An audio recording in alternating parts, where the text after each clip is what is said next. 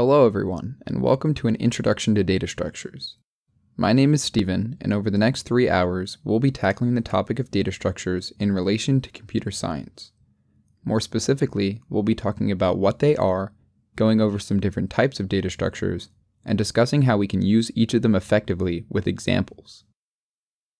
This course will be a general overview of data structures, and so we won't be confining ourselves to one specific programming language. However, this series will require you to have a basic understanding of programming. If you are completely new to computer science, I would recommend our Introduction to Programming series, which will be linked in the description below. That video will give you all the information you need to traverse these topics comfortably. Now we're almost ready to hop into things. However, there are a few housekeeping items that I want to go over beforehand for those wishing to enhance their learning experience. If you're not interested in that and want to skip right to the content, go to the time shown on your screen now. For those of you staying, though, there are just a few things I would like to mention.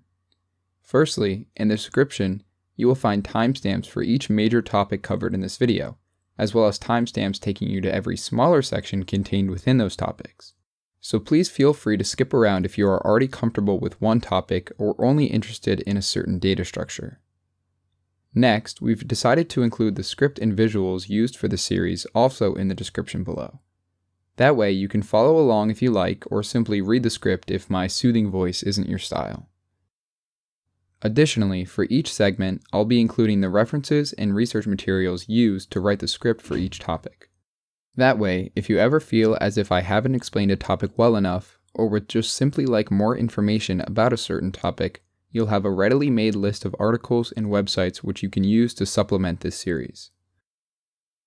If you feel like you have any questions throughout the series about maybe something I said or a certain visual, please ask your questions in the comments below. I'll try to be as responsive as possible for the first few weeks on questions you guys may have about the series and such.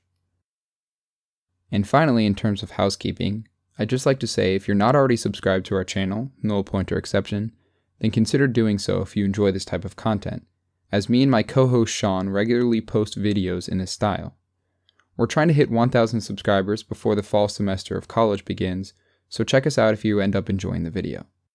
With my shameless plug out of the way, we're finally ready to tackle the topic of data structures. In this introduction segment, we'll simply cover a general overview of what data structures are, and then go over what type of information will be covered throughout the duration of this series. So the obvious question to start with is what exactly is a data structure? Well, in computer science, a data structure is a way to store, organize, and manage information, or data, in a way that allows you, the programmer, to easily access or modify the values within them. Essentially, it's a way for us to store a set of related information that we can use for our programs. Data structures and the algorithms used to interact, modify, and search through them provide the backbone for many of the programs that you'll end up writing. I can almost guarantee that in 99% of your programs, a data structure will be involved. Each of the data structures that I'll be talking about are designed for the sole purpose of storing information and allowing the end user to access and manipulate that information in an efficient and effective way, but each one differs in the manner that they accomplish this. If you have a basic understanding of programming, you probably know about a few different data structures already, such as the array and the array list, also known as the list in Python. But if you're going to be pursuing a career in computer science, just knowing these two is definitely not going to cut it. While basic data structures such as the array are used frequently by companies throughout their code, more advanced data structures are being put to use all around you. The undo redo button in Google Docs, Google Maps on your phone, even the autocomplete feature through your text messages all require the use of more advanced data structures, which makes them extremely useful to learn and comprehend. Okay, now I can't see you per se, but I can just tell that you're jumping up and down in your seat, hooked on data structures and how useful they can be. But before we jump too far into things, let's discuss the information that we'll be covering in this series. Now, before we talk about any specific data structures, we're going to have a brief talk about efficiency. We'll discuss the metrics used to judge the speed and efficiency of different data structures, which will then give you a better understanding of why one data structure might be used over another one.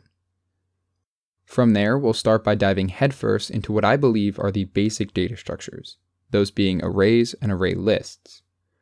While you may already have a good understanding of what these are, I would highly suggest that you still watch these segments, because we'll be going into a little bit more depth as to why they're so useful based on differences in how they're stored in the computer's memory.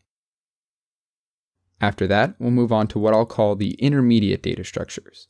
These are a little bit more complicated than the basics and have a few special attributes which make them stand out from the rest. We'll begin by taking a look at stacks, which are the backbone for all recursive processes in your computer. Then we'll look at the antithesis of a stack, the queue. Moving on from there, we'll be covering linked lists and their evolved form in the doubly linked list. Before moving on to the final of our intermediate data structures, the dictionary, which includes a mini lesson on hash tables.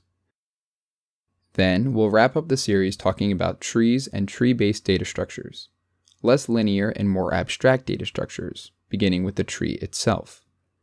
We'll then move on to tries, a very useful data structure used for a lot of word processing algorithms, and finally end off the series with a discussion on heaps and graphs. So in total, I'll be taking you through four different segments containing 12 of the most common data structures that are practically used, as well as providing examples of where and when to use them. Section 1 on efficiency, Section 2 on basic data structures, Section 3 on intermediate data structures, and wrapping it up with Section 4 on tree-based data structures. With this knowledge, you'll be able to take charge of your programming career and hopefully gain a competitive edge by implementing them when needed. Like I said, however, before we jump straight into the different ways to store information, I'd like to have a quick discussion on how we score the efficiency of these data structures using what is known as Big O notation. So let's jump right in. Okay, so before we talk about all these crazy data structures like maps and heaps, we want a quantifiable way to measure how efficient a certain data structure is at the different tasks we might ask of it. If we're going to be storing extremely large amounts of data, being able to search through, modify, or access the information within a data structure needs to be fast and efficient. As we briefly mentioned before, the industry standard for this kind of implementation is Big O notation. So, what exactly is Big O notation, and how do we measure it for a specific data structure? Well, that's what we'll be covering in this segment. For most of the basic and intermediate data structures in this series, we're going to be spending some time talking about its efficiency using Big O notation, so this is definitely a topic you're not going to want to skip. With that being said, let's begin. So because there are so many different ways to store information, like we talked about in the previous segment, programmers have developed this idea of Big O notation as a way to basically score a data structure based on a few different criteria. This criteria can change based on who you ask, but for the purposes of this video, we will be using four criteria representing the most common functions you might want from a data structure. The ability to access a specific element within the data structure, search for a particular element within the data structure, insert an element into the data structure, and remove an element from the data structure. Now, by measuring how efficiently a certain data structure can do these four things, we can basically create a report card of sorts which measures how efficient a certain data structure is. At a glance, this gives us a pretty good overview of what a certain data structure is good at and what it is bad at, and it can help us decide which one to use. If we need to store data that is easily accessible to the end user, for example, we might choose a data structure which can access elements the quickest. Vice versa, if accessing elements isn't the most important thing to us, but we need a data structure which can be easily added to and deleted from, we would go for one which is most efficient in that specific functionality. By looking at a data structure's report card, if you will, we can get a quick sneak peek at what they're good at and what they are bad at. Now, if we use Big O notation to basically create a report card, like I said, there must be some way to actually grade each of these functions, and there is. The four criteria mentioned accessing, searching, inserting, and deleting are all scored using Big O notation time complexity equations. Now, what is a Big O notation time complexity equation? Well, I'm glad you asked. Besides being in an annoyingly long phrase, a Big O notation time complexity equation, or just time complexity equations, work by inserting the size of the dataset as an integer n and returning the number of operations that need to be conducted by the computer before the function can finish. The integer n is simply the size or amount of elements contained within the dataset. So for example, if we have an array, one of the data structures we'll get into soon, with a size of 10, we would place 10 into the different efficiency equations for accessing, searching, inserting, and deleting that represent the array. And returned back to us would be the number of operations that need to be conducted by the computer before completion of that function. It does get a little bit more complicated than this, but for the sake of keeping this series simple, all you need to know is that these equations help represent efficiency amongst different data structures. Also, an important thing to note here is that we always use the worst case scenario when judging these data structures. This is because we always want to prepare for the worst and know which data structures are going to be able to perform under the worst conditions. You'll see what this means in greater detail a little later on once we start putting this into practice, but for now just keep in mind that when judging data structures, we always use the worst case scenario. Moving on.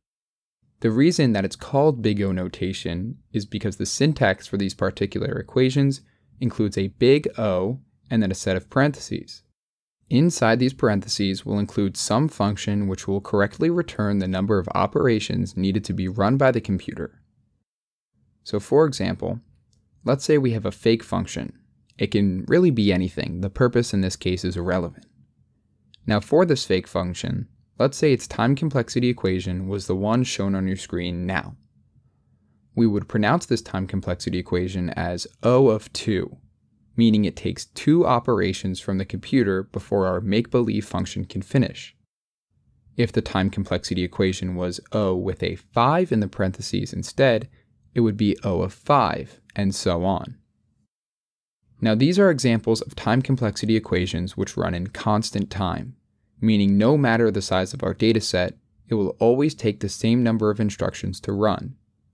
This is usually not going to be the case though when it comes to the four criteria we want to mention for our data structures. Most of the time, our integer n, which again contains the amount of elements within the dataset, is going to have some adverse effect on how many operations it takes to, say, search through our data structure, which makes sense. A larger dataset means it's going to take more operations from the computer to search through that entire dataset. Now we score these four functionalities in number of operations performed because measuring by how long the function takes to run would be silly. If we measured by a metric such as time taken to completion, our results would be highly biased by the hardware used to run the function. A supercomputer used by Google is obviously going to be able to search through a data structure much faster than a laptop. Time complexity equations essentially level the playing field by instead returning the number of operations to eliminate the bias in processing power that exists. So, to sum up everything that we've learned so far, we measure the efficiency, or speed, of a data structure based on how well it can perform four basic tasks accessing, searching for, inserting, and deleting elements within itself. Each of these criteria is modeled by an equation which takes in the size of the data structure in number of elements n and returns back the number of operations needed to be performed by the computer to complete that task. By measuring these four metrics, we can get a pretty good understanding of what the data structure is good at and what the data structure is bad at. Now it's important to note that this isn't the end all be all for deciding on which data structure to use in your program. As you'll see as this video progresses, many of the data structures were structured with specific quirks or features which separate them from the rest and provide additional functionality. Big O notation is incredibly useful and something that you should definitely take into consideration when determining which data structure to implement into your program, but it should not be the only thing that you use. Cool. Now that we know a little bit about how we measure the efficiency of a data structure using time complexity equations, along with the four criteria actually used to measure them, let's dive straight into what the actual equations mean in terms of efficiency. That way, when we start grading data structures, you'll have a good idea as to how good or bad each one is at that particular metric. Basically, we're going to cover the six most common time complexity equations from most efficient to least efficient. Now, the absolute best that a data structure can score on each criteria is a time complexity equation of O of 1. This essentially means that no matter what the size of your dataset is, the task will be completed in a single step. If your dataset has one element, the computer will finish the task in one step. If your dataset has 100 elements, one step. 1 million elements, one step. 800 quadrillion elements, it does not matter. The computer will finish the task in a single step. This is why when we look at the graph of volume of data versus instructions required for O of 1, the line remains constant at 1. No matter the volume of data stored within the data structure, the computer can complete that task in a single instruction, whether it be accessing, searching, inserting, or deleting. O of 1 is the gold standard, absolute best, top of its class time complexity equation. It is basically the Michael Jordan of big O notation when it comes to time complexity equations. Now, the next fastest type of time complexity equation is O log n. While not as fast as instantaneous time, a function having a time complexity of O log n will still provide you with very fast completion. Now, if you don't fully understand logarithms entirely, just know that this efficiency is slower than instantaneous time O of 1 and faster than the next level of efficiency known as O of n. Additionally, because the volume of data versus time graph follows a logarithmic curve, the larger the dataset that you use, the more bang for your buck that you're going to get. Basically, as the amount of data you try to perform one of our four criteria on increases, the rate of change of the amount of operations it takes to complete that certain task decreases. So as you can see at the beginning of the graph here, when we increase the volume of data, our number of operations skyrockets. But when we do the same for larger and larger sets of data, our number of operations increases much more slowly than before. A good example of a non-data structures related function which has a time complexity of O log n is the binary search. If you know what a binary search is, then you'll understand how it is that when the dataset gets larger, the number of instructions needed to find the item you're searching for doesn't increase at the same rate. If you don't know what a binary search is, but would like to know in order to better understand O log n, a link in the description below will take you to that point in our Introduction to Programming series where you can learn about it. If not, let's move on to the next equation. O of n is the next common time complexity equation that's going to come up frequently during this lecture. The graph of volume of data versus instructions needed for this function is linear, meaning that for every element you add to the dataset, the amount of instructions needed to complete that function will increase by the same amount. So to perform a function with a time complexity of O of n on a dataset with 10 elements, it will take 10 instructions. 50 elements will take 50 instructions, 1000 elements, 1000 instructions, and so on. O of n is really the last good time complexity equation that exists. Anything above this is considered inefficient and not very practical when it comes to data structures in computer science. The next type of equation that will come up is O n log n. This equation is the first that is relatively bad in terms of efficiency. The graph of volume versus operations shows a somewhat linear but increasing graph, meaning unlike O log n, it won't be better in terms of efficiency as the size of the dataset increases. Instead, the slope actually increases as the volume of data does. The last two types of equation are O(n) squared and O2 to the n. These are both incredibly inefficient equations which should be avoided if at all possible. Because they are both exponential in structure, which can be seen from their graphs of volume versus operations, the larger the dataset that you use, the more inefficient it will become.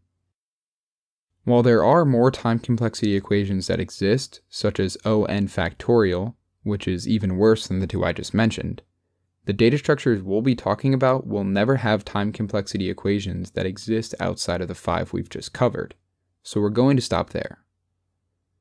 Now, the final thing I want to say is just a reiteration of something I said before. These time complexity equations are not the only metric you should be using to gauge which data structure to use. As we get deeper and deeper into this series, you'll see that we might have some data structures which don't seem that efficient at all based on their time complexity equations, but provide some other functionality or feature which makes them extremely useful for programmers. Okay, now that we have some knowledge on how we actually grade these data structures in terms of efficiency, let's hop into our very first data structure. The first data structure we're going to be covering is the array. Now I understand the array is a pretty common data structure taught in most programming classes, and that many of you might already know about the properties and uses of an array. But in this segment, we'll be going into more detail on the array as a data structure, including its time complexity equations, storage methods, and more. So check the description for a timestamp to skip ahead to that section if you already know the basics. If you're not as versed in the array though, or just want a general review, then stick around, because right now we'll be discussing the basics of an array. An array is fundamentally a list of similar values grouped together in a central location, which makes sense because if you remember, we use data structures to store sets of similar information so that we can easily use that information. Basically, arrays can be used to store anything usernames for an app, high scores for a video game, prices for an online shop, pretty much any list of values which are fundamentally similar, meaning of the same type. So, integers, strings, floats, objects, the list goes on and on. Any primitive or advanced data type you can think of can be stored within an array. Every item contained within the array is referred to as an element of that array, and we call the collective total of elements the array. This is going to be true for almost all data structures we talk about, by the way, so just keep that in mind. An array will also have three attributes associated with it. The first being a name for the array, the second a type for the array, and the third a size for the array. Let's start with the name. The name, if you couldn't tell, is just simply a name for the array, which can be used to reference and interact with it. Say, for example, we had an array called names, which contained a list of company employees. And then we also had an array called salaries, which contained a list of salaries for those employees. If we wanted to search through the list of salaries, we would do so by referencing the salaries array with its name. This way, the computer knows that you want to search through that specific array containing salaries and not the names array instead. This works vice versa as well, of course, if we wanted to search through the names array instead. Now another thing to note really quickly while we have this up is that these two arrays are also an example of parallel arrays. Parallel arrays are two or more arrays containing the same number of elements and have the property wherein each element in one array is related to the element in the other array or arrays of the same position. So, from our example, we can say that the first element in our names array, John Smith, corresponds to the first element in the salary array, the integer 10,000. This would mean that John Smith has a salary of 10,000. This is really good because as you'll see later on, we can't store differing types of variables in the same array. So we couldn't have these salary integers be stored in the same place as the name strings, making parallel arrays extremely useful for storing different types of data about the same entity. Alright, tangent over. Let's get back to the attributes of arrays. And the second one we'll be talking about the array's type. Now, an array's type is simply what type of information is stored or will be stored within that array. One of the biggest stipulations about arrays is that it has to hold all the same type of information. So you cannot have an array containing integers and strings, it would have to be either an array of only integers or only strings. This works for any type of information you would want to store within the array meaning every element or spot within the array must be of the same type. The third and final attribute that an array has is a size. This size is a set integer that is fixed upon the creation of the array. It represents the total amount of elements that are able to be stored within the array. An array's size cannot be changed. I'll repeat that again because it's extremely important. An array's size cannot be changed once created. Once you write the line of code which instantiates an array, you give it a defined size or fill it with elements until it has a defined size, and then at that point, the array's size cannot be changed by conventional methods. This is actually pretty rare for a data structure, and it may seem really counterintuitive and useless, but later on when we talk about an array's efficiency, you'll see that this is for a specific reason and not just to be annoying to the programmer. So there you have it, the three attributes of an array. A name to reference it, a type to fill it with, and a size to control it. Let's now shift focus and talk about how we actually define an array ourselves, how we reference and change values within an array, and then dive into the idea of two-dimensional arrays. There are actually two different ways to instantiate an array in most languages. You can either populate the array with elements that you want contained within it right then and there, or you can set a specific size for the array and then slowly populate it later on as the program runs.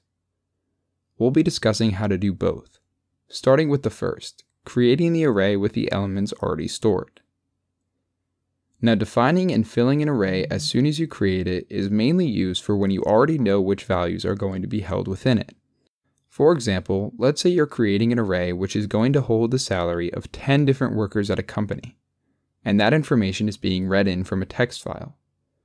Well, you already know the 10 salaries for those workers from the text file, and so you're able to immediately populate the array when you create it. This way, you'll already have the information available to you as the program runs. The way you do this varies amongst different programming languages, but it's shown here in three different languages Java, Python, and C Sharp to give you a basic gist of how this is accomplished. All three lines of code on your screen now will create an integer array of size 3 containing the numbers 1, 2, and 3. You can see that all of them involve the declaration of an array name, which is then set equal to the values you want to include within the array encapsulated by some sort of brackets or braces. This isn't 100% how it's going to be for all languages, but for the most part it will follow this skeletal outline. As you can see, Java and C Sharp require you to define the array type, whereas Python does not, but for the most part the syntax is the same. Again, that is name of array set equal to list of comma separated values encapsulated by brackets or braces. This also develops the size of the array for you automatically. So since we populate the array with the numbers 1, 2, and 3, the array would instinctively have a size of 3 as it now contains three integers. If we were to, say, go back and add in a fourth number, where we define the array, the size would dynamically increase to 4 the next time we run the code. Now, the second way in which we can instantiate an array is by setting an initial size for our array, but not filling it with any elements, and then slowly populating it as the program runs. This would be used in the case that you don't actually know what information you're going to store in the array, but will as the program runs through.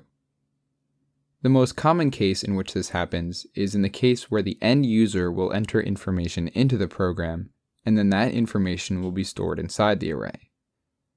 Since the information varies based on which user runs the code and what they input during that particular run, we have no way of populating the array as soon as it's instantiated forcing us to add the information later.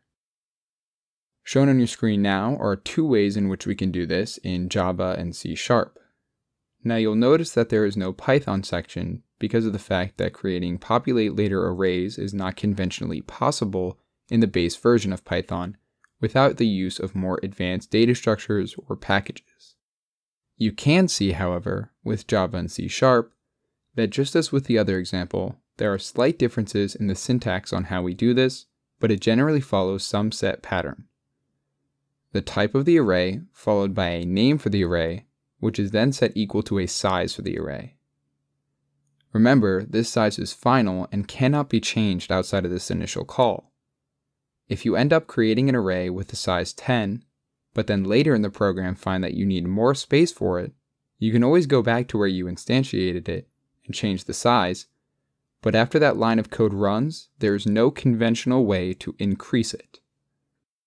You may also be wondering what the brackets mean when instantiating an array. And that's just a way to signify to the computer that we are indeed trying to create an array and not just a variable. Now that we know the two different ways to instantiate an array, we need to know how we, as the programmer, actually get information that is stored within the array so that we're able to use it. And the simplest way to answer that question is through the means of a numerical index. An index is simply an integer which corresponds to an element within the array.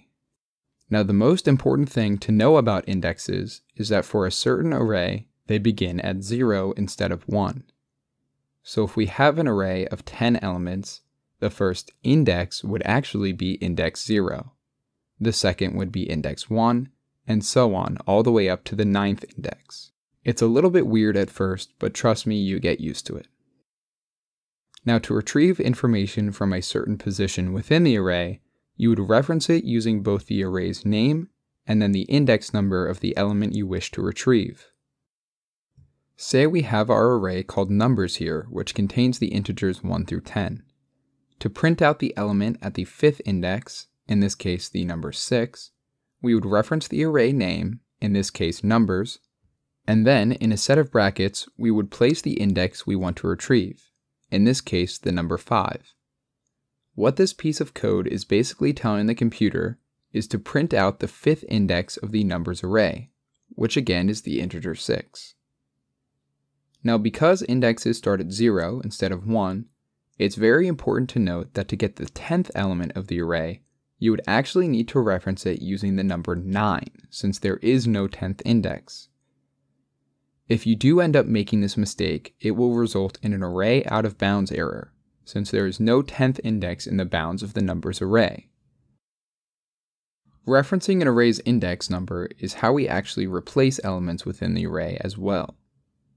Continuing with our numbers array, let's say we wanted to change the last element, the integer 10, to be the integer 11 instead.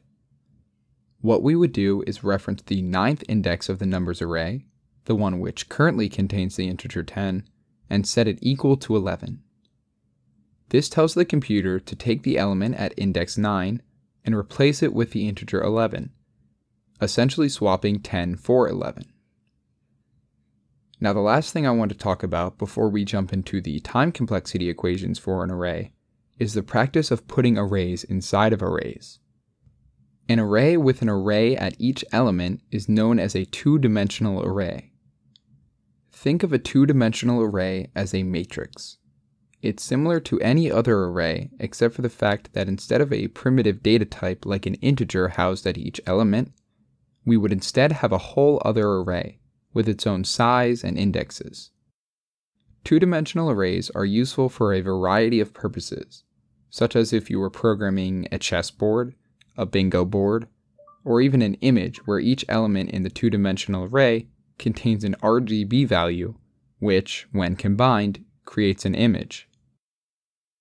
Now, referencing an element within a two dimensional array is mostly the same as with one dimensional arrays, except you now need two indexes. The first number would be the index of the column that you want to reference, and the second number would be the index of the row that you want to reference. By combining these two numbers, we can single out an element within the two-dimensional array that will then be returned to us. As an example, let's create a two-dimensional array with 16 names contained within 4 rows and 4 columns. Now, to access the name Carl, you'd first single out the column which contains the name you're looking for. In this case, Carl is in the third column, meaning it's in the second index. Next, you would single out the row which contains the name you're looking for. In this case, the name Carl is in the third row, so we would again use the second index to reference it. Combining these two pieces of information gives us the index location 2, comma 2. And if you look, Carl is indeed at index location 2, comma 2. Just as another example, Adam is in the first column two rows down. And so to reference Adam, you would simply call upon the element at index location 0, comma 1. Two-dimensional arrays are just the beginning. You can also have three dimensional arrays, four dimensional arrays, and so on for containing large amounts of advanced relational data. But two dimension is, is where we're going to stop for today. Alright, that concludes the background information on arrays. Now that we know what they are, let's actually talk about arrays as a data structure. This is where we're finally going to be using our big O notation knowledge from the previous segment to judge the array as a data structure. We'll be going through the four criteria we talked about previously accessing elements within an array, searching for an element within an array, inserting an element into an array, and deleting an element from an array, and scoring it based on how effectively it can complete these four tasks using time complexity equations.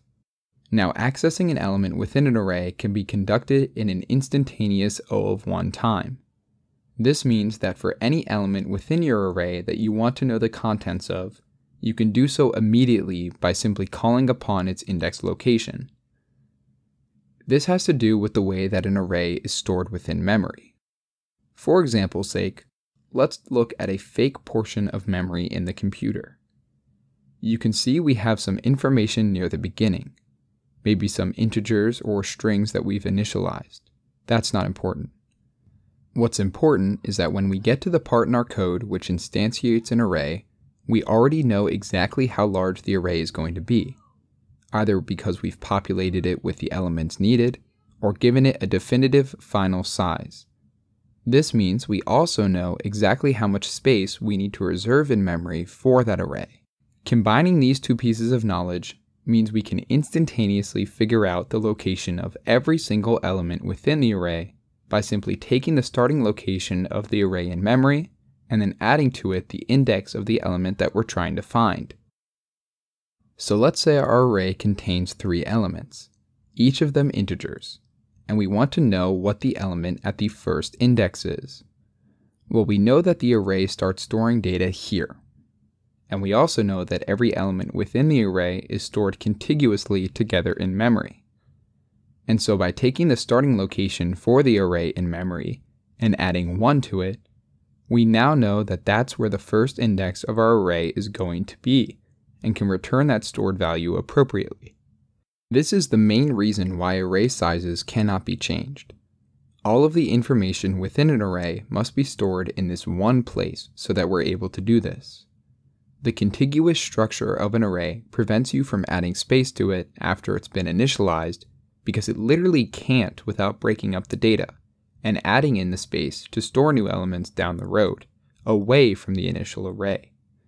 This would make accessing elements instantaneously not possible.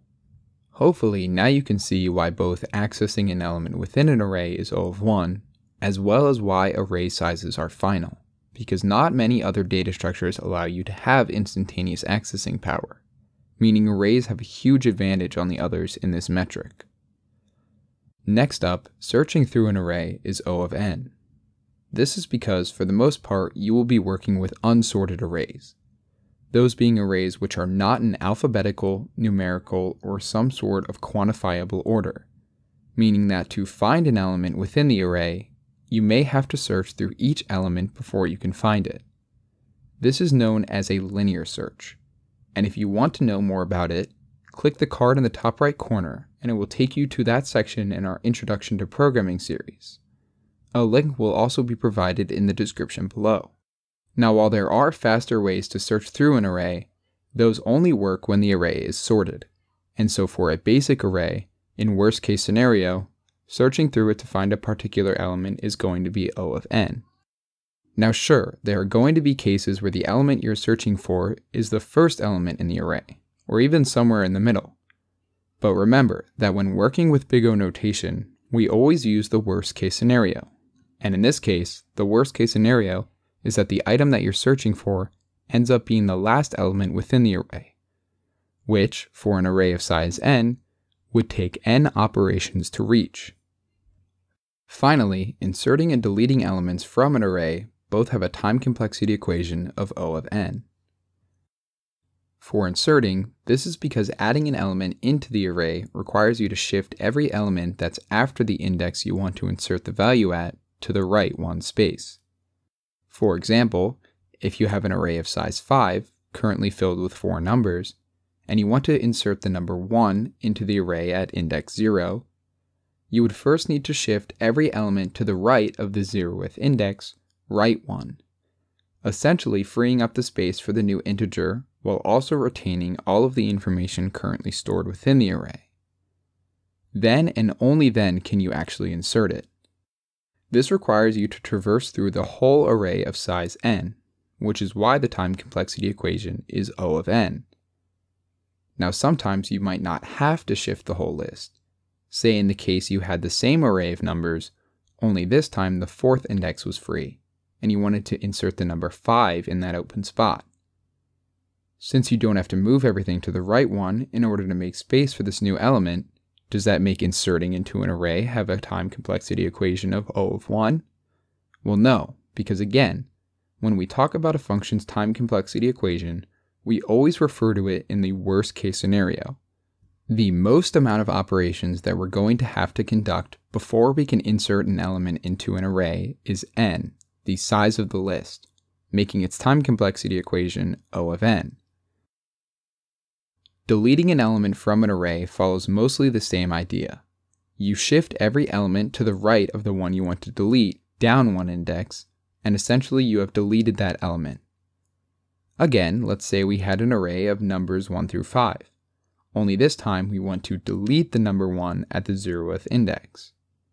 What we would do is set the 0th index to whatever is contained at the first index, in this case the integer 2.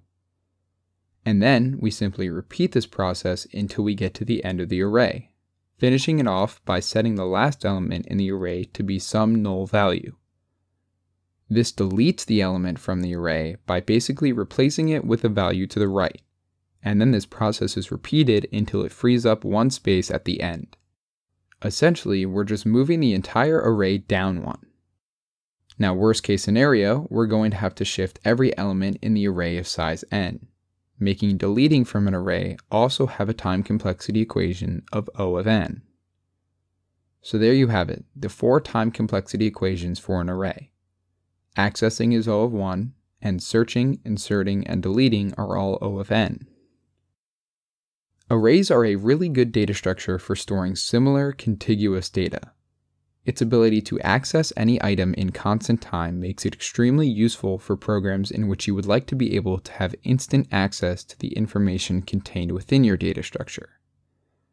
It's also a lot more basic than some of the other data structures that we'll end up talking about making it both easy to learn and reducing the complexity of your code.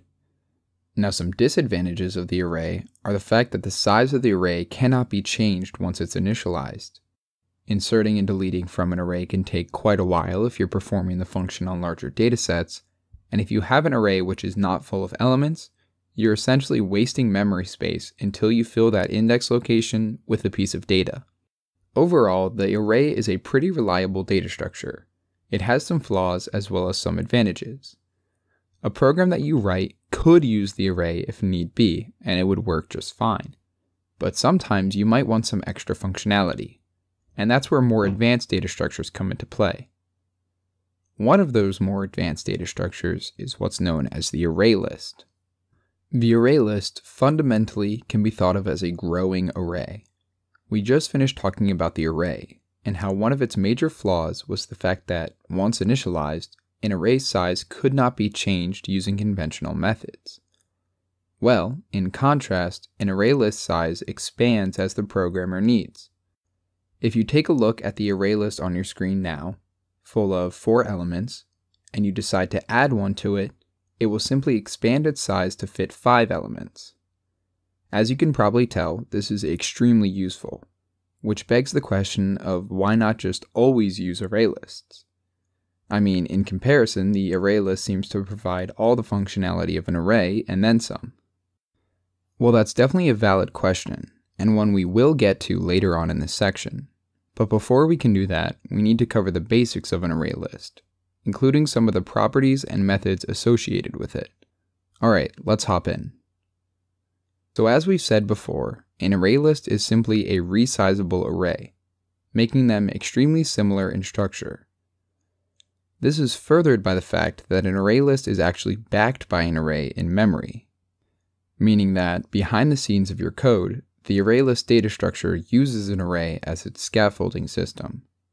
For this series, we need not go further than that, but for us, it just means that a lot of the functionality will be the same. Now, this doesn't mean everything is going to be the same, which you'll see later on, but it's still important to make note of before we get too deep into things. The next thing I want to do before we talk about functionality is actually go over how we initialize an array list. To do this again is going to vary based on which language you're using. So shown on your screen now are two different ways to do so in Java and C Sharp. You may notice again that there is no Python on the screen. And this is because in the base version of Python, arrays and array lists are actually not separate entities. They are Frankenstein together into a single data structure called lists. Lists take some functionality from arrays and some from array lists. It's a lot more complicated than that, but for this series, that's all you're going to need to know as to why we are not including Python in this section. We discussed initializing Python lists in the previous section, so if you're interested, you can go back and look at that. Now going back to array list initializations, another thing you may notice is that it looks a little bit awkward in the way that these statements are structured. And that's mainly due to the fact that the array list is actually its own separate class, outside of the base version of these two languages. Now I'm not going to get into class hierarchy and object-oriented programming right now, because that's a whole other topic with big concepts and even bigger words. For right now, this just means that to create a new ArrayList, we have to invoke the ArrayList class when defining it, which as you can see is done at the beginning of both initializations. After that, you can see that we give it a name, which is then set equal to new ArrayList with a set of parentheses. Now in this parentheses, you have a few options. You can either enter in an integer, which will then be used to define a size for the array list, or you can just leave it blank. Leaving the parentheses blank like that will automatically define a preset size of 10 for the array list. Again, just as a reminder, this can be dynamically increased as time goes on if we add enough elements, but it's just meant as a base size. Now you may be wondering if we can actually populate the array with elements when initializing it, as we could with arrays, but array lists actually do not support this type of declaration. Moving on, let's talk about functionality. Now the array list can be thought of as pretty much the evolved form of an array. It's a bit beefier, has a little bit more functionality, and is overall more powerful than an array. That's certainly not to say that it's better in every case, but for the most part, the array list is going to be thought of as the older sibling amongst the two. This is attributed to the fact that it belongs to the pre-built array list class, which we talked about earlier. The fact that the array list belongs to a class means it's going to come with pre-built functions that are already at our disposal from the moment we define and instantiate an array list. More specifically, the array list comes with methods we can use to access, change, add to, or delete from it easily. If you were using an array, you would have to program most, if not all, of these methods by hand. And so having them pre-built into the ArrayList class makes it especially useful. You'll see that this is the case with a lot of the data structures down the road, where having a data structure belonging to its own class cuts out a lot of programming time you have to spend making appropriate methods for the functionality that you might want. Now the types of methods that you're going to get will vary based on language. For example, in Java, you'll have a variety of methods to use, including ones to add elements to the array list, remove them from the array list, clear the array list entirely, return its size, etc., etc., as well as tons of other more specific functions. In another language, though, such as C Sharp, you'll have some of the same methods as the Java array list, but you might also have some methods that the Java version does not, and vice versa. The C Sharp version might not have some of the methods that the Java version does. The same is going to apply for any other language you use which might implement the ArrayList data structure. Because of the variability surrounding the ArrayList amongst languages, in this series we're simply going to be covering six of the most common methods that are both useful and can be found in 99% of the ArrayList classes. These six methods are the add method, the remove method, the get and set methods, the clear method, and the toArray method. This may look like a lot, but remember, all of these are pre-programmed for you, and so you don't have to make them all by hand. All you have to do is call them on a pre-made array list and you're set to go. Speaking of pre-made array lists, before we dive into each of these functions and how they work, let's first create an example array list we can use to manipulate and show how they work. Let's call it example A list and give it a size of 4 so that it's not preset to 10 and we're set to go. Now the add method actually comes in two different types. One which takes in only an object to add to the end of the array list, and one which takes in both an object to add to the array list as well as an index value representing the index to insert the object at. Let's start with the simpler of the two, one which simply takes in an object. This method is for more basic cases, where you don't care about where in the array list the object you wish to add is going to end up. It will simply append the object you pass in as an argument to the end of the array list. So let's take our example array list and run the add method on an integer of 2. Now, normally array lists only hold objects, not primitive types like the integer 2 that we're trying to pass in.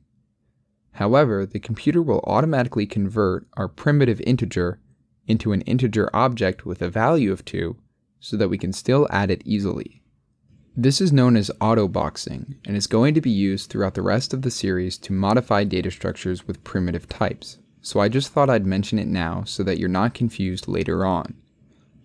Okay, so when we run our code, since the array list is empty and we ran the add method which doesn't care about location, it's going to add the integer 2 at the first index, index 0. Now if we run another add method, and this time pass in the integer 5 as an argument, since the zeroth index is already taken, it will be slotted in as the first available open index, that being the first index. So as you can see, it's pretty simple. It takes in an object and will put it at the first open location available. Moving on to the second type of add method, one which takes in an object to add to the array list as well as an index to place it at. This one works very similarly to the previous, only make sure that the object that you're adding is appended at the index provided. Again, let's say now we want to add the number 1 to our example array list, but we want to make sure it's placed in numerical order, in this case at the 0th index.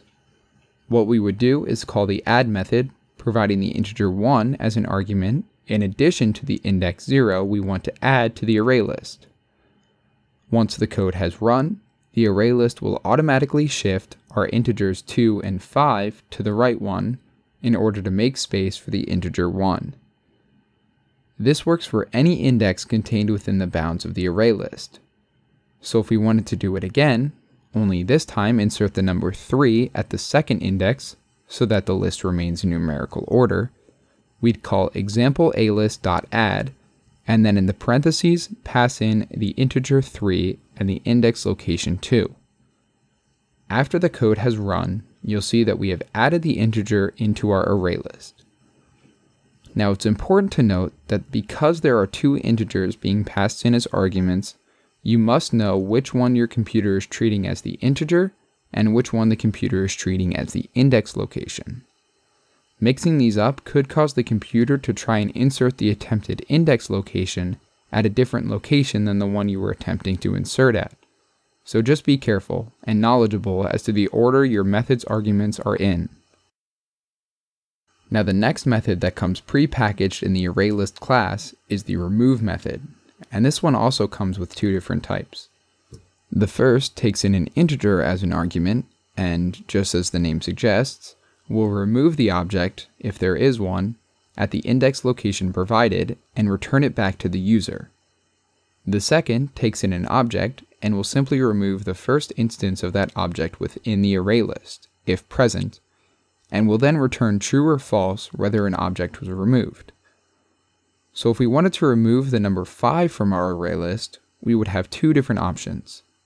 We could call example alist.remove and inside the parentheses, place the index of the value we want to remove, in this case 3, and the program will remove the object at index 3. The other option would be to run another remove method, only this time pass in an integer object of 5. It has to be an integer object because if we were to just use 5, the computer would try to remove the fifth index of the array list, which doesn't even exist. By creating an integer object, we can ensure that when the code runs, the computer knows that we want to remove the first instance of the number 5 in our array list, and running this will return true, and remove the integer from our list. Now if there is no integer 5 in the array list, the remove method will simply return false. Now I quite like the number 5, so I'm actually not going to permanently remove it from the array list just yet. Up next is the get method. Now the get method is pretty much the same as referencing an index for an array. It takes in an index location and will return back to you the value at that location. So example alist.get with an argument of 0 would return 1. Example alist.get with an argument of 2 would return 3, and so on.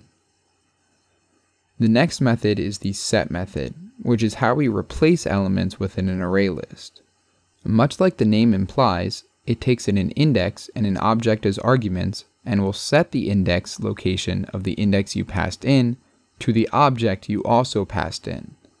So if we wanted to set the number 5 in our array list to be 4 instead so that it matches nicely with the other integers, what we would do is call example alist.set and within the parentheses pass in the index location of the element we want to set, in this case 3, and then also the object we want to replace at that index in this case the integer 4.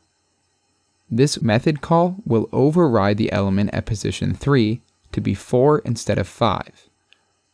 Now you should be really careful when you're using this method because you don't want to accidentally override an important element within the array list. Next up is the clear method, for when you simply just hate your array list.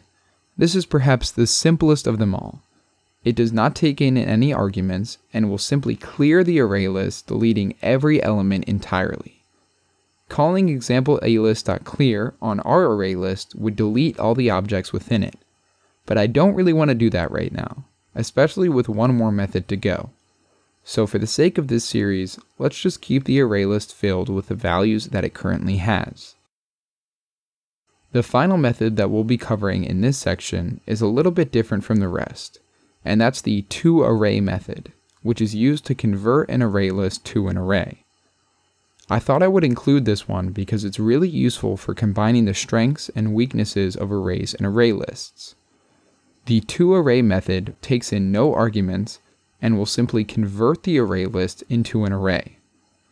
Now, for this to work, of course, you need to set it to be equal to the creation of a new array, like shown on your screen now. But if it is done correctly, you'll end up with a brand new array which contains all of the contents that used to be in the old array list. You may notice though that instead of an array of integers, it's actually an array of objects. This mostly has to do with that object-oriented programming stuff we talked about in the beginning, but for now it won't make too much of a difference. We can still treat it as a regular array, printing out indexes to the console, placing elements within it, typical array functionality.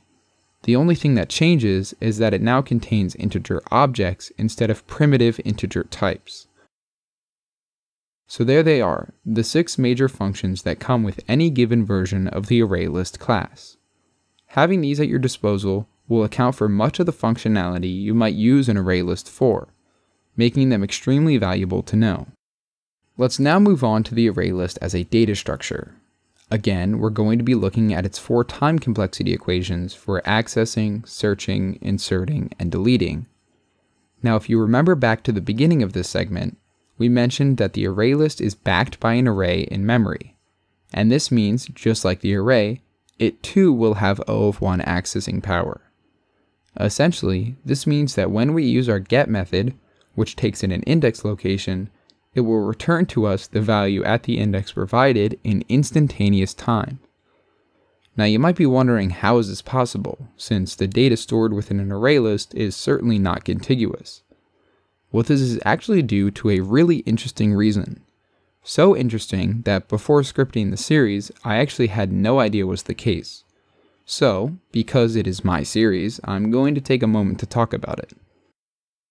So if we pull up our example array list in memory, you can see that it looks a little bit different. Let's break down what's going on. Instead of storing the actual objects which are contained within itself, an array list actually stores references, or pointers, to the locations of those objects in memory. So the zeroth index, based on the array list, is stored at the 87th location in memory, which is currently storing the integer 1. Checking back to our example array list, you'll remember that that is indeed what was stored at the zeroth index of the example array list. And this goes for every element within the array list. The first is stored at the 91st memory location, the second at the 100th, and so on. So as you can see, while the actual data is not stored contiguously, the references to that data are. So when we run our get command, all it has to do is return the value that's stored at whatever the index location points towards. It's a bit more complicated than that, especially the way that these references get stored. But that covers the gist of it. This is the reason our array list can have instantaneous accessing power without having the data stored contiguously. Alright, tangent over, let's get back to big O notation time complexity equations for the array list. So we know accessing is going to be O of 1, and searching is going to be O of n. This is for the same reason that arrays were O of n. If we want to find out if an object is contained within our array list, and that object is at the last index of the array list, we're going to have to search through each and every element within it of size n to make sure. Because remember, we always go based on the worst case scenario. Now inserting into the array list is going to be O of n, because worst case scenario, if we are inserting an element at the beginning of the array list, we need to shift every element after the index we're inserting to the right one, just like we needed to do for the array. This requires a number of operations equal to the size of the array, making inserting O of n. Deleting is O of n for the exact same reason. If we want to delete the first element within the array list, we would then have to shift every element down one to save space. Additionally, if we want to delete an object contained at the last index, we have to search through the whole list to find it. Either way, it will be O of n. Alright, so there are our four time complexity equations. Accessing is O of 1, and searching for, inserting, and deleting are all O of n. If that sounds kind of familiar, that's because these are the same as the array's time complexity equations. See, I told you they were similar. Now this does bring back up the question we posed at the beginning of the episode. Why even use an array in the first place? In comparison to the array list, the array just does not seem as useful. Well, let's get into that by sizing these two data structures against each other mano e mano. Let's compare. An array is a collection with a fixed size, meaning it cannot be changed, whereas an array list has a dynamic size, which can be updated to fit the needs of the programmer. Arrays can store all types of data, meaning both primitives and advanced types, whereas array lists can only store objects, not primitives. Now this problem is mostly solved through the auto-boxing situation I talked about previously, but the fact still stands. Moving on, an array is built into most languages, meaning it doesn't have any methods pre-made for you to interact or modify it, whereas an array list is its own class, meaning it comes with useful methods to help you utilize it. Finally, an array is very primitive in nature and doesn't require a lot of memory to store or use, whereas an array list is, again, a class, meaning it requires more space and time to use than an array will. Hopefully, now you can see that while the array list is more powerful, it still does have some drawbacks which make using an array sometimes more appropriate. In general, you want to use arrays for smaller tasks where you might not be interacting or changing the data that often and array lists for more interactive programs where you'll be modifying the data quite a bit. So that's the array list. As a review, it is a dynamically increasing array which comes with a slew of methods to help work it. As the array list is a hefty topic in computer science, if you feel I didn't do a good enough job explaining some of the concepts in the video, the sources used to write the script for this video will be linked in the description below. But if not, let's move on to our next data structure. The next data structure we'll be talking about is the stack. Now at this point in the video, we'll be diverging from what are known as random access data structures, i.e. arrays and array lists, and diving into sequential access data structures. What's the difference? Well, if you remember back to our discussion on arrays and array lists, we were able to access any element within the data structure by calling upon its index location. This would then result in the computer instantaneously returning the value at that location. Each element was independent of the one before or after it, meaning obtaining a certain element did not rely on any of the others contained within the data structure. That basically describes the gist of a random access data structure, one where each element can be accessed directly and in constant time. A common non computer science example of a random access would be a book. Getting the information contained on a certain page doesn't depend on all the other pages within that book, and getting an element contained within a random access data structure doesn't depend on all the other elements contained within that data structure. In contrast, elements in a sequential access data structure can only be accessed in a particular order, each element within the data structure is dependent on the others and may only be obtainable through those other elements. Most of the time, this means that accessing a certain element won't be instantaneous. A common non computer science example of sequential access would be a tape measure. To get to the measurement of 72 inches, you would first have to go through inches 1 through 71. There's no way to just instantly get to 72 inches without first breaking every law of thermodynamics and probably the space-time continuum. These are also sometimes called limited access data structures because unlike random access, the data is limited by having to obtain it through a certain way. So there you have it, random access data structures which allow instantaneous accessing power and independent elements, such as the array and array list, and then you have sequential access data structures, which only allow accessing through a particular order with dependent elements. Through the next few segments, we'll be covering a few of the popular sequential access data structures, such as stacks, queues, linked lists, and so on. Beginning, of course, with the stack. We've already danced around the subject long enough, so let's finally talk about what a stack actually is. Now, the stack, by definition, is a sequential access data structure in which we add elements and remove elements according to the LIFO principle. The LIFO principle, which stands for last in, first out, means that whichever element we added to the stack last will be the first one we retrieve, hence last in, first out. Think of this as a stack of books. Each time you add another book to the top, you do so by stacking it on top of the others. Then, if we want to get a book in the middle of that stack, we would first have to take off all the books on top of it. We can't just grab that book from the stack and expect the entire thing not to fall in on itself like some sort of literaturistic Jenga. The same goes for the stack as a data structure. We add elements to the top of the stack and retrieve them by taking them off the top of the stack. There's only one way in and one way out for the data. We can't simply access or modify an element within the stack all willy-nilly like we were able to do with the array and the array list. This might seem like a weakness, limiting the flow of data to one single point, but remember what I said during the segment on time complexity. Many of these data structures have a built-in functionality which gives them an edge over the others, and the stack, with its LIFO property, is a prime example of that. Next up, let's talk about some of the methods commonly associated with the stack. Now the stack class will always come with two methods pre-built into its class, those being push and pop. These are the fundamental methods which we use to interact and modify the stack, making them extremely important to comprehend. In addition to those two, I'm also going to cover two more methods, peek and contains, which are both useful and can be found in the stack class associated with most programming languages. Now, just like we had an example array list, let's also create an example stack to help us show off these methods. And just like that, we're ready to roll.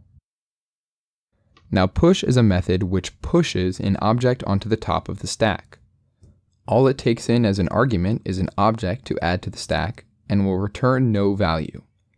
When we do this, that object becomes the forefront of the stack and its size is dynamically increased by 1. Let's start running some push commands on a variety of different strings. You'll see that the stack slowly gets built. Now, channel, this, to, subscribe, a series of completely random words seamlessly pushed onto the stack. As you can see, we're only adding information to one spot, the top. There's no insert method where we can just jam a string into the middle of the stack. Moving on, the pop method is used to remove an element from the top of the stack. It does not take in any arguments and will return the element that is popped off the stack back to the user. Once a pop method has run, the element that was at the top of the stack is removed and returned back to the programmer, and the element which was second from the top becomes the new top of the stack. And so, on our example stack, if we popped off each element, you'd see that each time one of these completely random strings is taken from the stack and returned back to the user, until we are left with a sad, empty stack with no shameless promotion. Let's add the strings back. Obviously, just for the sake of the next two methods that we need to cover, and not for continuing the free advertising. So push and pop are how we add and remove the data within our stack. So they're fundamentally the backbone of the data structure. The next two I want to talk about, peek and contains, are more so used to interact with the data inside the stack without actually changing it. Not as useful for modifying data, but still extremely important. The first of these is the peek method. The peek method allows you to get the value at the top of the list without actually removing it. We talked about before that the only way to access elements in a stack was through the top, and this method is simply a way to look at what the top value is without having to pop it off. It takes in no arguments and will just return back the contents of the top element. In our case, if we ran it on our example stack, subscribe would be returned back to the user. Now, if we popped off the top element and ran it again, 2 would be returned instead. You get the idea. Again, let's push subscribe back onto the top for educational purposes. Now the final method I'll be covering is the contains method. This one is used for searching throughout the stack. It takes in an object as an argument and will return a boolean of whether or not that item is contained within the stack. Essentially, this method allows us to search through the stack without popping off every element until we find the one we're looking for as the contains method does not modify the stack in any way. So, for example, example stack.contains with an argument of subscribe would return true. Example.contains with an argument of this would also return true. But example.contains with an argument of hello would return false. So there they are four common stack functions which are going to be vital if you ever want to construct a stack-based program. Moving on to time complexity. For accessing, the stack has a time complexity equation of O of n. This is because in order for us to reach a certain element within the stack, we first have to pop off every element that's above it.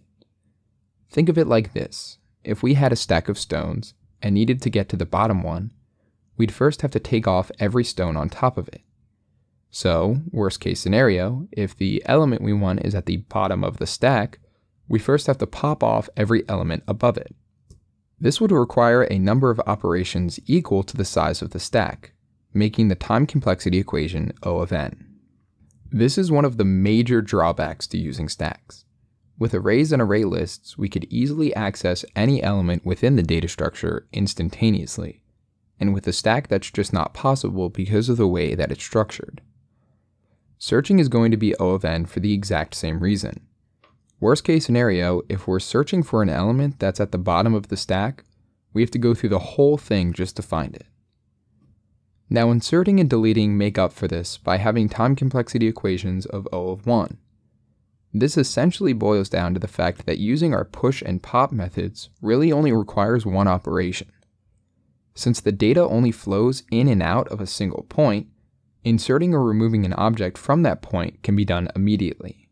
For the push method, we simply add it to the top of the stack, and for the pop method, we just take it off from the top. It's not rocket science. Actually, it's computer science, but that's besides the point. There's no need to rearrange data or move elements around like there was for the array and array list because we don't have to.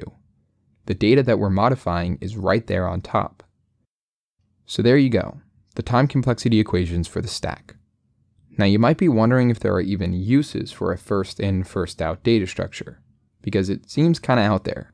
I mean, limiting your data to a single entry point, but you would actually be mistaken. Stacks are used everywhere, both in the actual writing of other code as well as in real world situations. In fact, one of the most fundamental processes of computer science uses stacks as a way of keeping track of active functions or subroutines.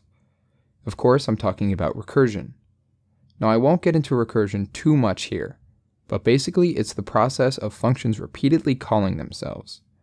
When the function calls itself, that call is added to a stack of processes. And when that stack finally reaches what's known as a base case, the functions are all then popped off one by one. It goes much, much deeper than that, but we don't have time for a full blown lesson on recursion right now. If you want that, you can click the card in the top right corner of your screen or the link in the description below, which will both take you to that part in our Introduction to Programming series where we cover it. Either way, stacks are the backbone for recursion, and recursion is the backbone for a plethora of computer science related functionality, such as traversing data structures, keeping track of active subroutines in code, and much, much more. Some examples of stack based functions outside of computer programming, which you use every day, include the undo redo button in word processors and the backpaging on web engines. Both use stacks similarly. They continually add tasks you've completed to a stack, either web pages that you visited or words that you've typed. And then, when you press undo or the back button in a web browser, all we have to do is pop off whatever the last task was off the stack, and bam, you're right back to where you were a second ago. It's like magic, but better in a way. As you can see, the stack has a lot of real world applications, both on the consumer side and the client side. You interact and use stacks every day without even realizing it, and will use stacks frequently as you continue along your computer science journey. And so by learning them, you're opening up a world of opportunities. That concludes our discussion on the stack. To review, it is a sequential access data structure in which we use the LIFO principle to add and remove elements from. And again, LIFO stands for last in, first out. Up next, we'll be talking about an equally useful data structure that functions very differently than the stack, while also working very similarly. And that data structure is known as the queue. So now that we've talked about the stack, a sequential access data structure which follows the LIFO principle, we need to cover the opposite, which in computer science we obviously call a queue. Now, by definition, a queue is a sequential access data structure which follows the FIFO principle, or first in, first out. The stack and queue are very much a dynamic duo when it comes to the world of CompSci. So you'll notice a lot of similarities between the two in the way that they're structured and how they work. Today, and in this segment, we'll cover a lot of the same topics as we did with the stack, only for the queue. Now, timestamps can be found in the description correlating to these topics, but if you're sticking around, let's dive deeper into what the queue actually is. Well, the queue, like the stack, is a sequential access data structure, meaning we can only access the information contained within it a certain way. Now, if you remember back to stacks, this certain way was through the LIFO methodology, or last in, first out where the last element pushed onto the stack would always be the first one we popped off, similar to a stack of books that we add to and remove from. Now, in contrast, the queue follows what's known as the FIFO methodology, or first in, first out, where the first element added to the queue will always be the first one to be removed. We can think of this as a line to your favorite amusement park ride. Mine as a kid was always the Ring of Fire, so let's just use that one as an example. The first one to get there, assuming we don't have any cutters, will always be the first one who gets to go on the ride. The later you show up, the longer you have to wait. This is the strategy used for queues when adding and removing objects. The first element to be added will also be the first one to be removed. Another big difference between stacks and queues is the location we add and remove elements from. You might remember that with the stack, we added and removed elements from one spot, the top. With the queue, however, this is different. We add elements to the back, also known as the tail, and we remove them from the front, also known as the head. This allows us to make sure that we 100% follow the FIFO methodology. So there's your background information on the queue. Sequential access, FIFO methodology, add elements to the back and remove them from the front. Got it? Good. Now, let's dive headfirst into how we can actually use a queue by jumping into some common queue methods. So just like the stack, we're going to have two methods used to add and remove elements from the queue. For the stack, we added elements with push and removed them with pop. In contrast, with the queue, we add elements using enqueue and remove them using dequeue. In addition to these two methods, we're also going to cover peek and contains, which if you watched the previous segment should look pretty familiar. Alright, let's start.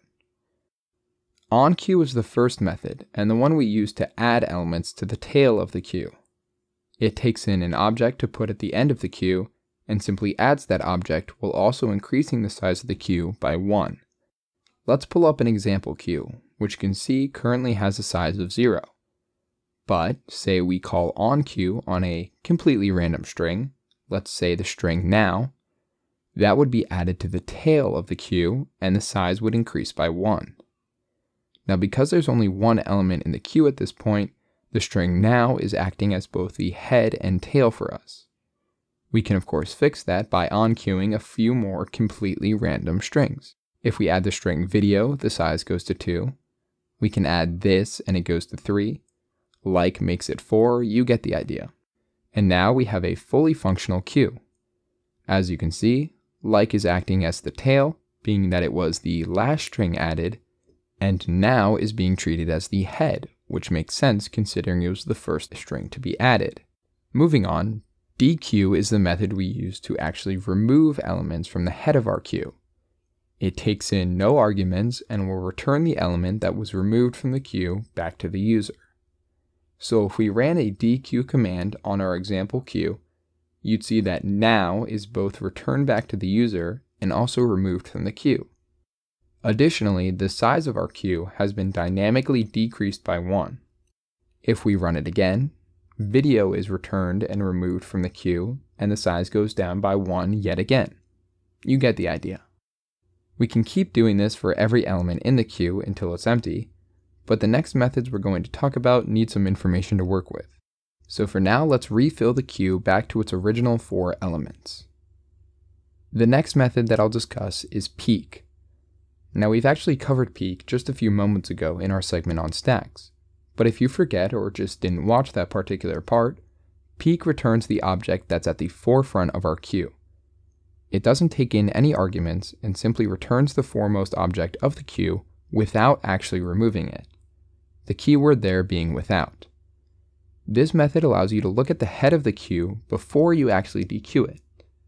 There are a multitude of reasons that you might want to do this, maybe to make sure that the element that you're about to dequeue is the correct one, or to check to see if an element you need is still there, etc., etc. Whatever the case is, we can use the peek method to fulfill our needs. If we were to run it on our example queue, you'd see that the string now is returned. But if we dequeue the first two elements and run it again, you'll see that the string this is returned. Pretty simple, but extremely effective. Again, let's add video and now back into the queue for our next and final method. That method, of course, being the contains method. The name pretty much says it all. The contains method will take in an object and will return a boolean of whether or not the queue contains that object. Running it on our example queue with an argument of q would return false, because as you can tell, there is no q string contained within our queue. However, if we ran it on a string such as video, it would return true, because as you can see, the string video is indeed in the queue. And there they are all together now, enqueue, dequeue, peek, and contains. Four methods which will help you utilize a queue to its maximum efficiency. Speaking of efficiency, that takes us perfectly into the time complexity equations for the queue. Now, accessing an element within a queue is going to be O of n. Let's say you had a queue full of three elements. If you want the object at the tail, you first have to dequeue every element off the front until the one you are looking for is the head of the queue. Then and only then can you actually get the value contained. Since this may require you to go through the entire queue of size n, accessing is going to be O of n. Remember now, queues are sequential access data structures and not random access, meaning we can't just grab an object from the middle of the queue. That's just not how things work. Searching is going to be O of n for the exact same reason. Trying to find an element contained at the tail of a queue requires you to iterate across the entirety of that queue to check for it. So in that scenario, we have to check every element within that queue of size n, making the time complexity equation O of n. Inserting to and deleting from a queue are both going to be an instantaneous O of 1. This is because, just like with the stack, we're only ever enqueuing at a single point and we're only ever dequeuing at a single point. This means that no matter how large the size of the queue is, it will always take the same number of operations for any magnitude to either insert or remove an element. And there they are in all their glory, the time complexity equations for the queue. You may notice that they're identical to the stack, which, if you've been paying attention, is the truth for most of the properties about a queue. They are very much a yin and yang, one and the same type deal, differing slightly in terms of the methodology you use to add and remove objects from them. You'll often see these two data structures talked about together frequently just because of how similar their functionality is. The final thing I want to cover on the topic of queues are just some common uses for them within programming. What are these things actually used for? And the answer is quite honestly a lot.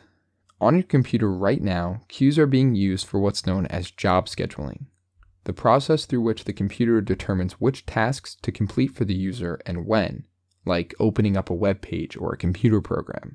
It's used many times in printers to keep track of when multiple printers try to print and determining whose documents get printed first. Heck, if you're looking for real world examples, Google even uses queues in their new Pixel phones to enable what's known as zero shutter lag, in which they strategically use queues to eliminate the time between when you take a picture and what the phone actually captures. So, yeah, in terms of functionality, the queue can be used in a variety of fields. So, it's good now that you know what they are and how to use them. This also concludes our discussion on the queue. To review, the queue is a sequential access data structure which follows the FIFO principle, or first in, first out, to add elements to the back and remove elements from the front. Up next, we'll continue on the sequential access data structures train and talk about one of my personal favorite data structures. Next, we'll be covering the linked list, and it's a good one, so strap into your seats. Let's just jump into things by talking about the elephant in the room. What exactly is a linked list? Well, to answer that, a linked list is a sequential access linear data structure in which every element is a separate object called a node. Each node has two parts, the data and the reference, also called the pointer, which points to the next node in the list. Wow, that is a pretty big sentence with a lot of ideas within it. So let's break it down part by part. The sequential access part of that statement means that the information contained within the linked list data structure can only be obtained through a certain methodology. We talked about this in our segment on the stack. If you remember, during that segment, we compared them to a tape measure, because similarly, you can only get measurements from a tape measure through a specific method. The specific method for a linked list will be covered a little bit later, but moving on, the linear part of the definition simply means that the information, or data, is organized in a linear fashion in which elements are linked one after the other. Now, when we state that every element is a separate object called a node, This means that unlike an array or an array list where every element is just, let's say, a number, each element in a linked list will actually be an object which can have multiple attributes or variables. Now I won't dive too far into object-oriented programming right now. If you want a good introduction to that, you can check out the link in the description below, which will take you to our Introduction to Object-Oriented Programming lecture. For this series, we essentially mean that the objects or nodes stored within each element of our linked list will hold two separate pieces of information. These two pieces of information come together to form the node, and these nodes are what make up our linked list. More specifically, those two pieces of information are the actual data or information stored within that node, and the reference or pointer to the next node in the linked list. The data is where our strings or integers or boolean values are kept, the actual contents of our data structure, and the other piece to the puzzle is the pointer. This reference or pointer points to where the next node in the linked list is stored in memory. This helps link all of the nodes in a linked list together to form one long chain of information, kind of like a computer science conga line. You should now be able to understand what a linked list is. Again, it's a sequential access linear data structure in which every element is a separate object called a node, in which each node contains both data and a reference to the next node in the linked list. This cumulatively creates a string of nodes which we call the linked list. Feel free to rewatch this explanation if you are still confused, because I know it can get pretty hectic pretty fast. The next thing I want to do in this section is just visualize how one of these linked lists is set up. That way you can actually see what I mean when I say nodes and pointers and everything else, etc. So every linked list starts with what's known as the head node of the list. This is just an arbitrary label which represents a node containing some form of data and also a reference to the next node in the linked list. For now, let's just store the integer 1 in our head node. Now since this is the only node so far in our linked list, the head node will simply point towards a null value, which is just to say it's not pointing anywhere. Essentially, it's pointing to nowhere and just being used as a placeholder until we actually give it something to point towards. Let's do that by adding another node to the linked list and store the integer 2 inside of it. Instantly, you can see that now our head node points to this second node instead of a null value. You'll also notice that this new node, which I'll call the 2 node, points to a null reference value, just like the 1 node used to do, as it is now the last node in the linked list. This is a pattern you'll notice as we continue adding nodes. The last node in a linked list, also known as the tail node, will always point towards a null value. This is our way of telling the computer that we've reached the end of our linked list and that there are no more nodes to traverse towards. Anyways, let's now create our third node and inside store the integer 3. This node now becomes the tail and points towards a null value. And the second node that we created, the one that used to point towards a null value, now points to this new node which contains the integer 3. Essentially, we're just adding a node to the tail of a linked list and then setting the references of the previous node to point towards that new node. And if you can understand that concept, you pretty much comprehend the gist of how these nodes interact. The two main takeaways are that every node has both information and a pointer, and that the last node in a linked list points towards a null value. That's pretty much the setup for a linked list. Definitely more abstract and fluid than, say, an array or array list, but hopefully not too complicated. Next up, we're going to be discussing how we add and remove these nodes from a linked list. Unfortunately for us, adding and removing elements from a linked list isn't going to be as simple as it was with the other data structures, such as the stack or the queue. This has to do with the simple fact that we are actually able to insert and remove elements easily within a linked list at any location. With a stack or a queue, we weren't actually able to do this because the data could only flow in and out of a few specified points. This made it so we couldn't remove an element from the middle of the stack or jam an element in the center of a queue. The way that they're structured just didn't allow for this. Using linked lists, however, we can easily remove elements from the middle or jam elements in the center, and so today we'll be covering the different methods used to do so. More specifically, we'll be covering the three different ways to both insert and remove nodes from a linked list, adding to and removing a node from the head, the middle, and the tail of a linked list. These are all going to revolve around those pointers we talked about at the beginning of the episode, because whenever we change up a node in a linked list, we also have to change its pointers, and that can get pretty complicated pretty quickly. Luckily, that's why I'm here. I've set up a basic linked list on your screen now with three nodes that we can use to play around with. Each node has a value, of course, representing the data inside the node, and also a pointer which points it to the next node. The green and red coloring on the nodes with the integers 1 and 3 simply indicate which node is the head node and which node is the tail node. Green means head node and red means it's the tail node. Now, in an actual linked list, these pointers would be locations in memory, but for the purpose of this series, we'll be representing the pointers visually. Perfect, so let's cut the chit chat and just jump right into it. The first method we're going to be covering is adding and removing nodes from the head of a linked list. Lucky for us, this is pretty simple. To add a new node to the head of a linked list, literally all we have to do is make that new node's pointer point to whatever the current head node of the linked list is. By doing this, we simply take away the title of head node from the current head and bestow it upon this new node that we're adding. It looks a little bit something like this. Let's take a node with the integer 0 and add it to the head of the linked list.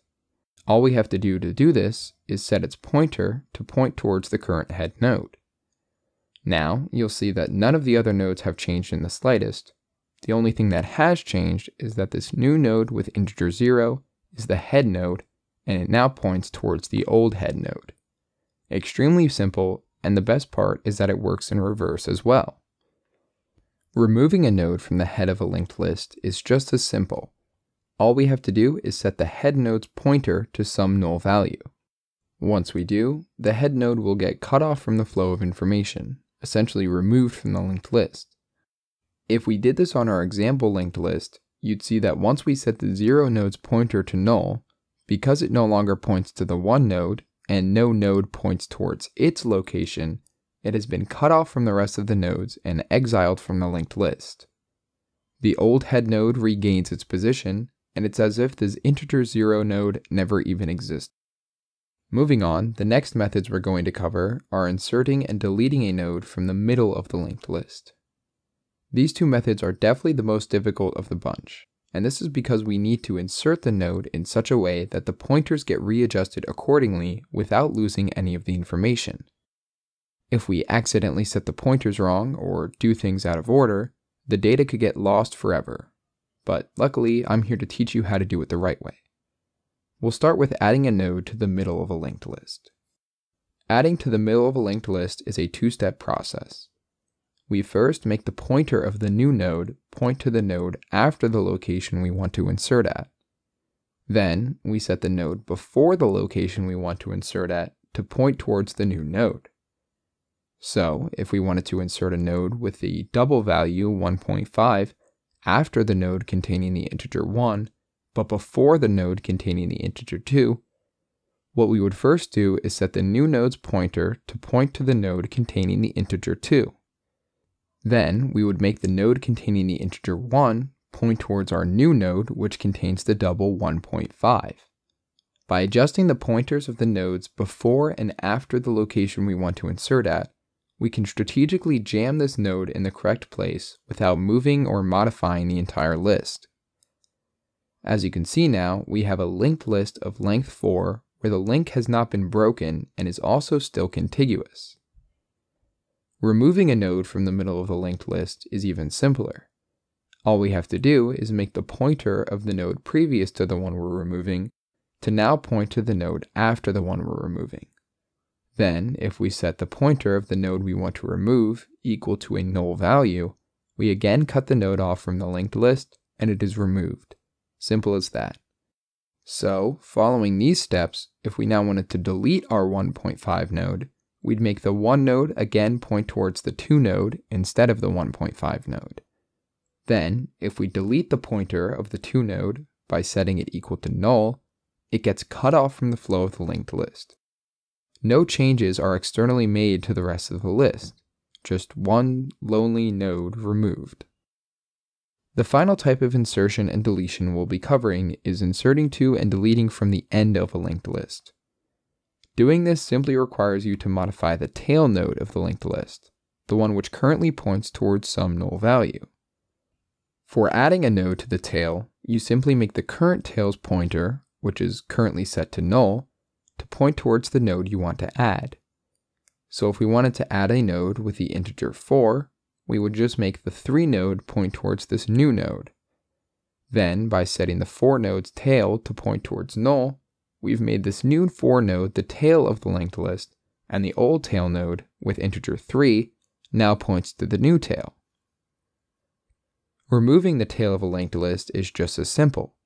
If we want to remove the tail, we just set the previous tail to point towards a null value instead of the current tail. This leaves the current tail node with no connection to the linked list, isolating it from the pack. Doing this on our list would look like making the 3 node point towards null.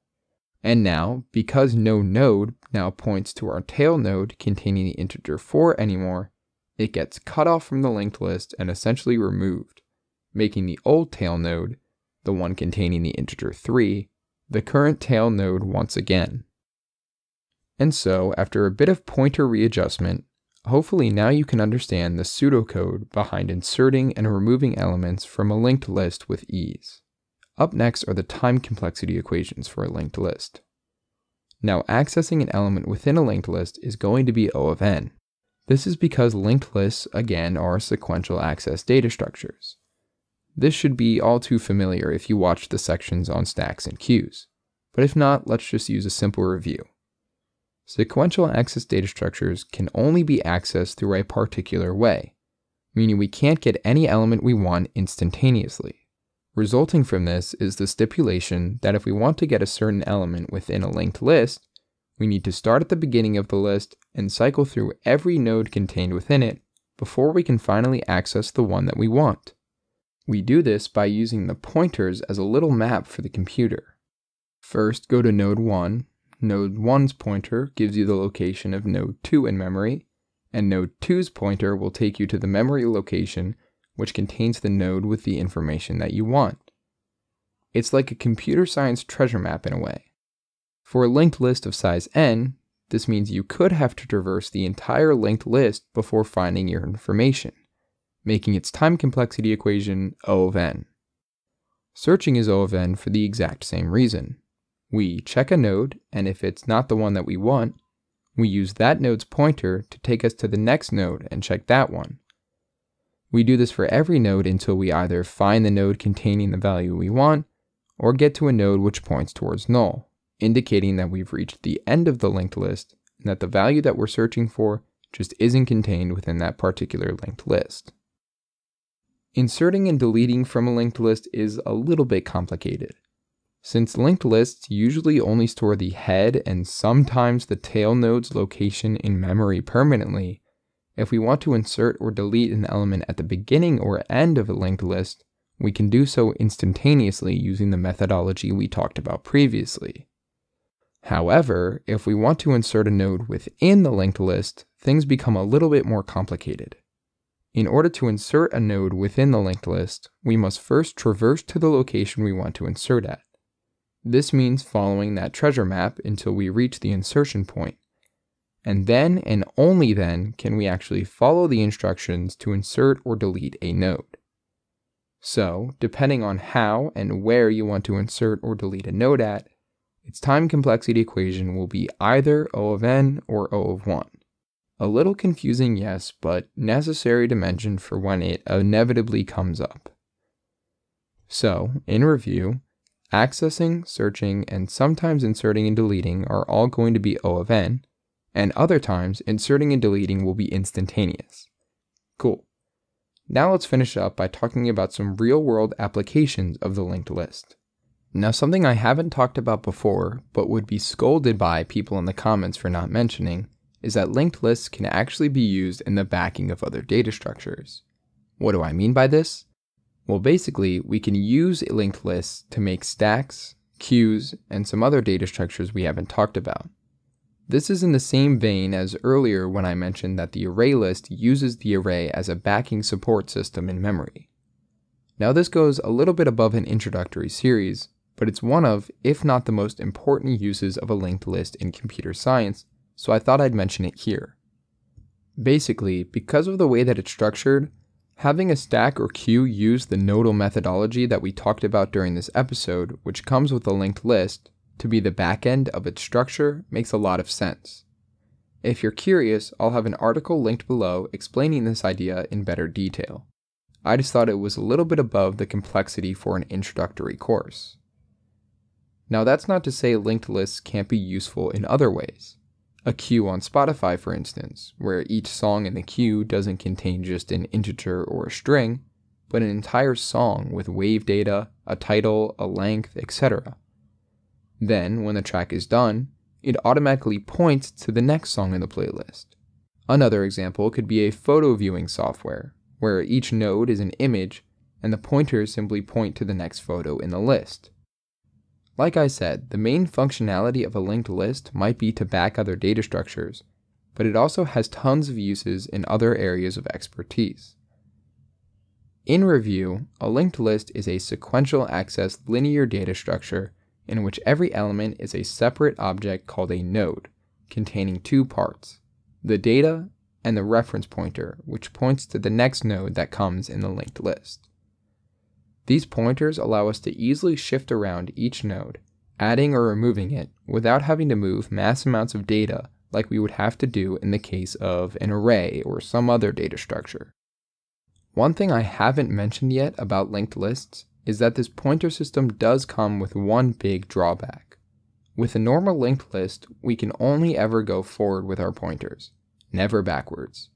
From the computer's eyes, once we follow a pointer to a certain node's location in memory, there's no way to go back or undo to the previous one.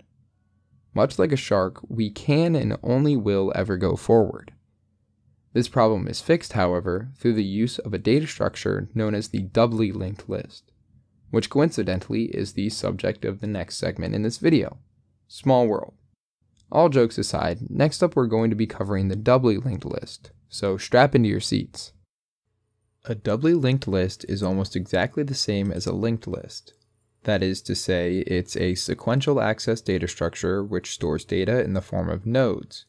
Except with doubly linked lists, there's one small difference. With a doubly linked list, we're able to traverse both forwards to the next node in the list and backwards to the previous node in our list, again using pointers. How? Well, let me explain. With regular linked lists, each element was a node composed of both a data section and then a pointer, which would take you to the memory location of the next node in the list.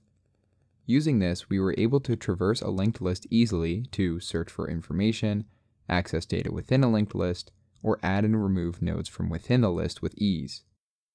A doubly linked list simply builds upon this by also having a pointer which points to the previous node's location in memory.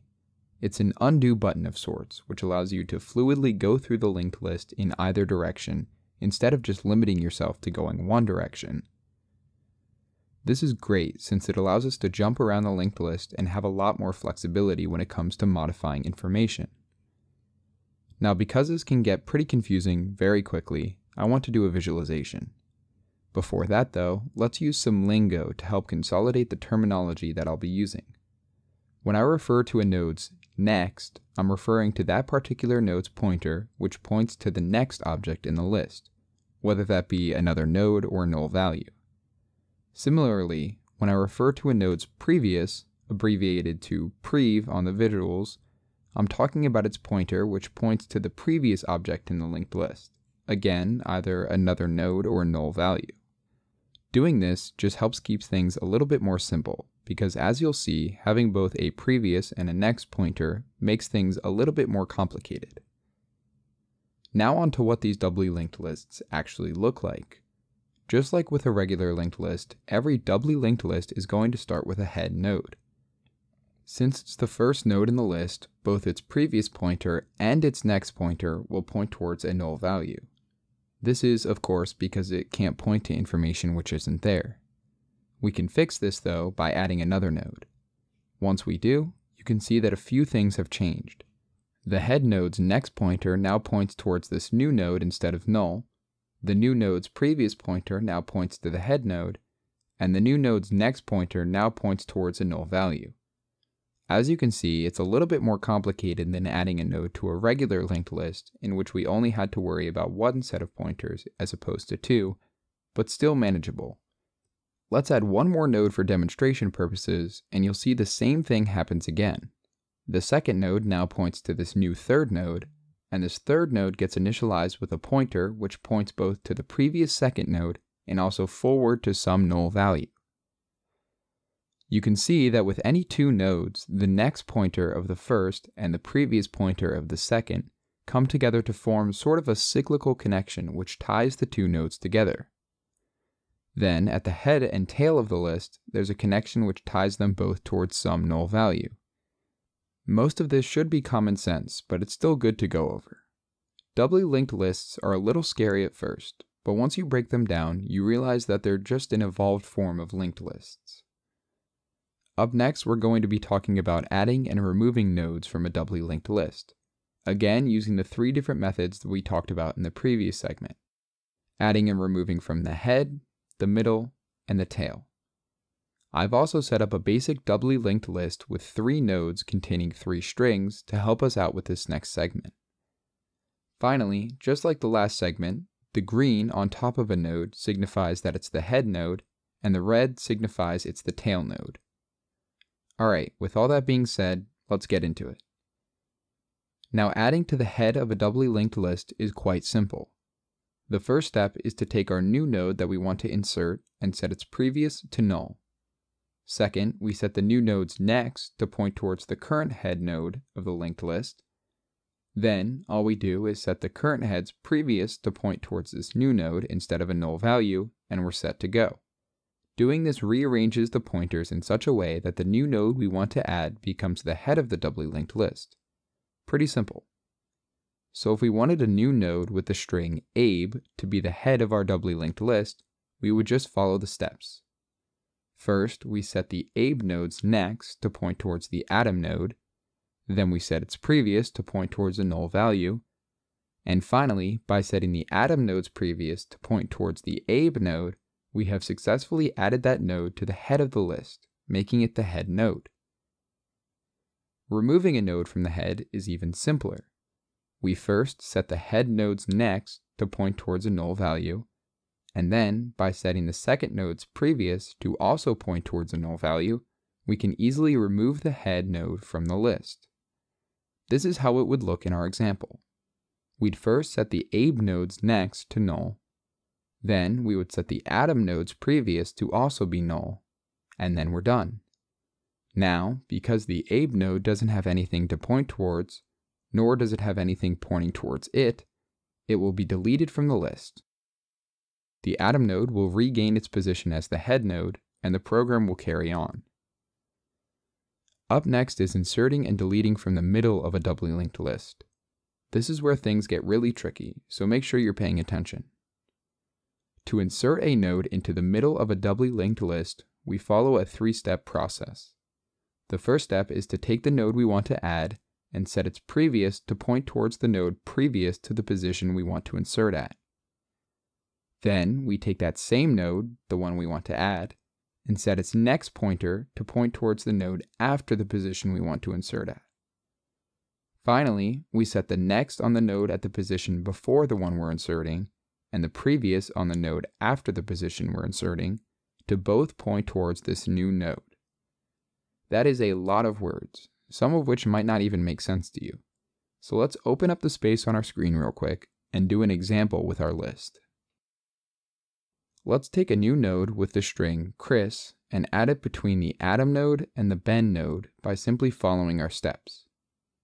First, we want to set the new node's previous to point towards the node previous to the position we want to insert at. This means setting the Chris nodes previous to point towards the Adam node. Simple enough. Second, we set the new nodes next to point towards the node after the position we want to insert at. This entails setting the Chris nodes next to point towards Ben. So far, so good. Then, the last step is to set the node on the next before we're inserting and the previous on the node after we're inserting to both point towards this new node. So in this case, the Adam nodes next and the Ben nodes previous both get set to the new Chris node. This completes the addition into the list. Obviously, this is a little bit more complicated than inserting or deleting from the head, but as you can see, we've now inserted this new node into its rightful place. It may be hard to see since the pointers are a little bit messy, but the flow of the list has remained constant without any breaks in the pointers, which is the most important part. Removing a node from the middle of a doubly linked list is also a three-step process. First, we set the node before the one we want to remove's next to point towards the node after the one we want to remove. Then, we set the node after the one we want to remove's previous to point towards the node before the one we want to remove. The final step is to set both pointers of the node we want to remove to point towards a null value. Again, a little complicated, so let's take it to our example list and try it out. Let's delete the Chris node just for the sake of keeping things consistent. Following the steps that we've laid out, we would first set the next of the node before the one we want to remove to point towards the node after the one we want to remove. So in this case, we set the Adam nodes next to point towards the Ben node, essentially skipping over the Chris node.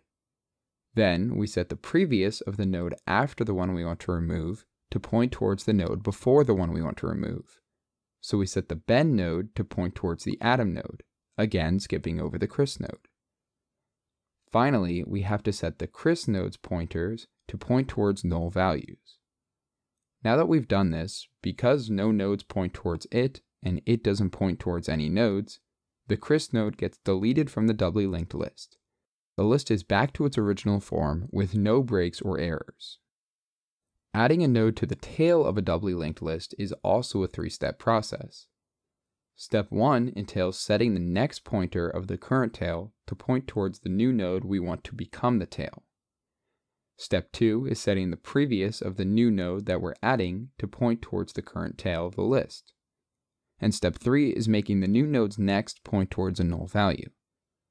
Again, let's do an example where we add a new node containing the string Ethan to the tail of the doubly linked list.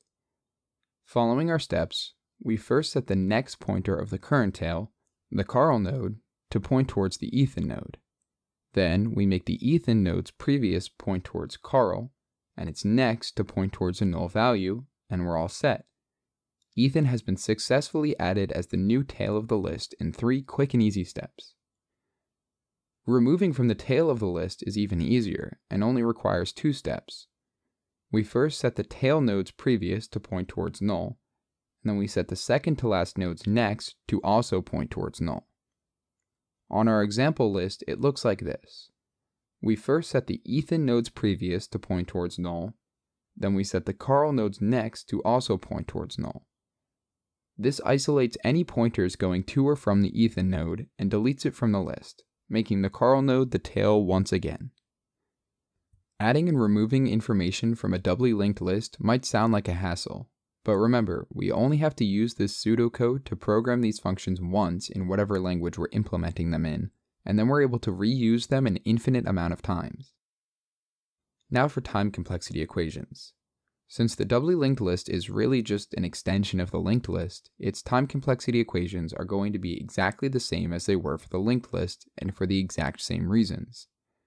O of n for all four cases, and sometimes O of 1 for both inserting and deleting. If you didn't watch the linked list segment and are wondering how we arrived at these equations, you can check the description for a timestamp which will take you to the discussion we had on linked list time complexities.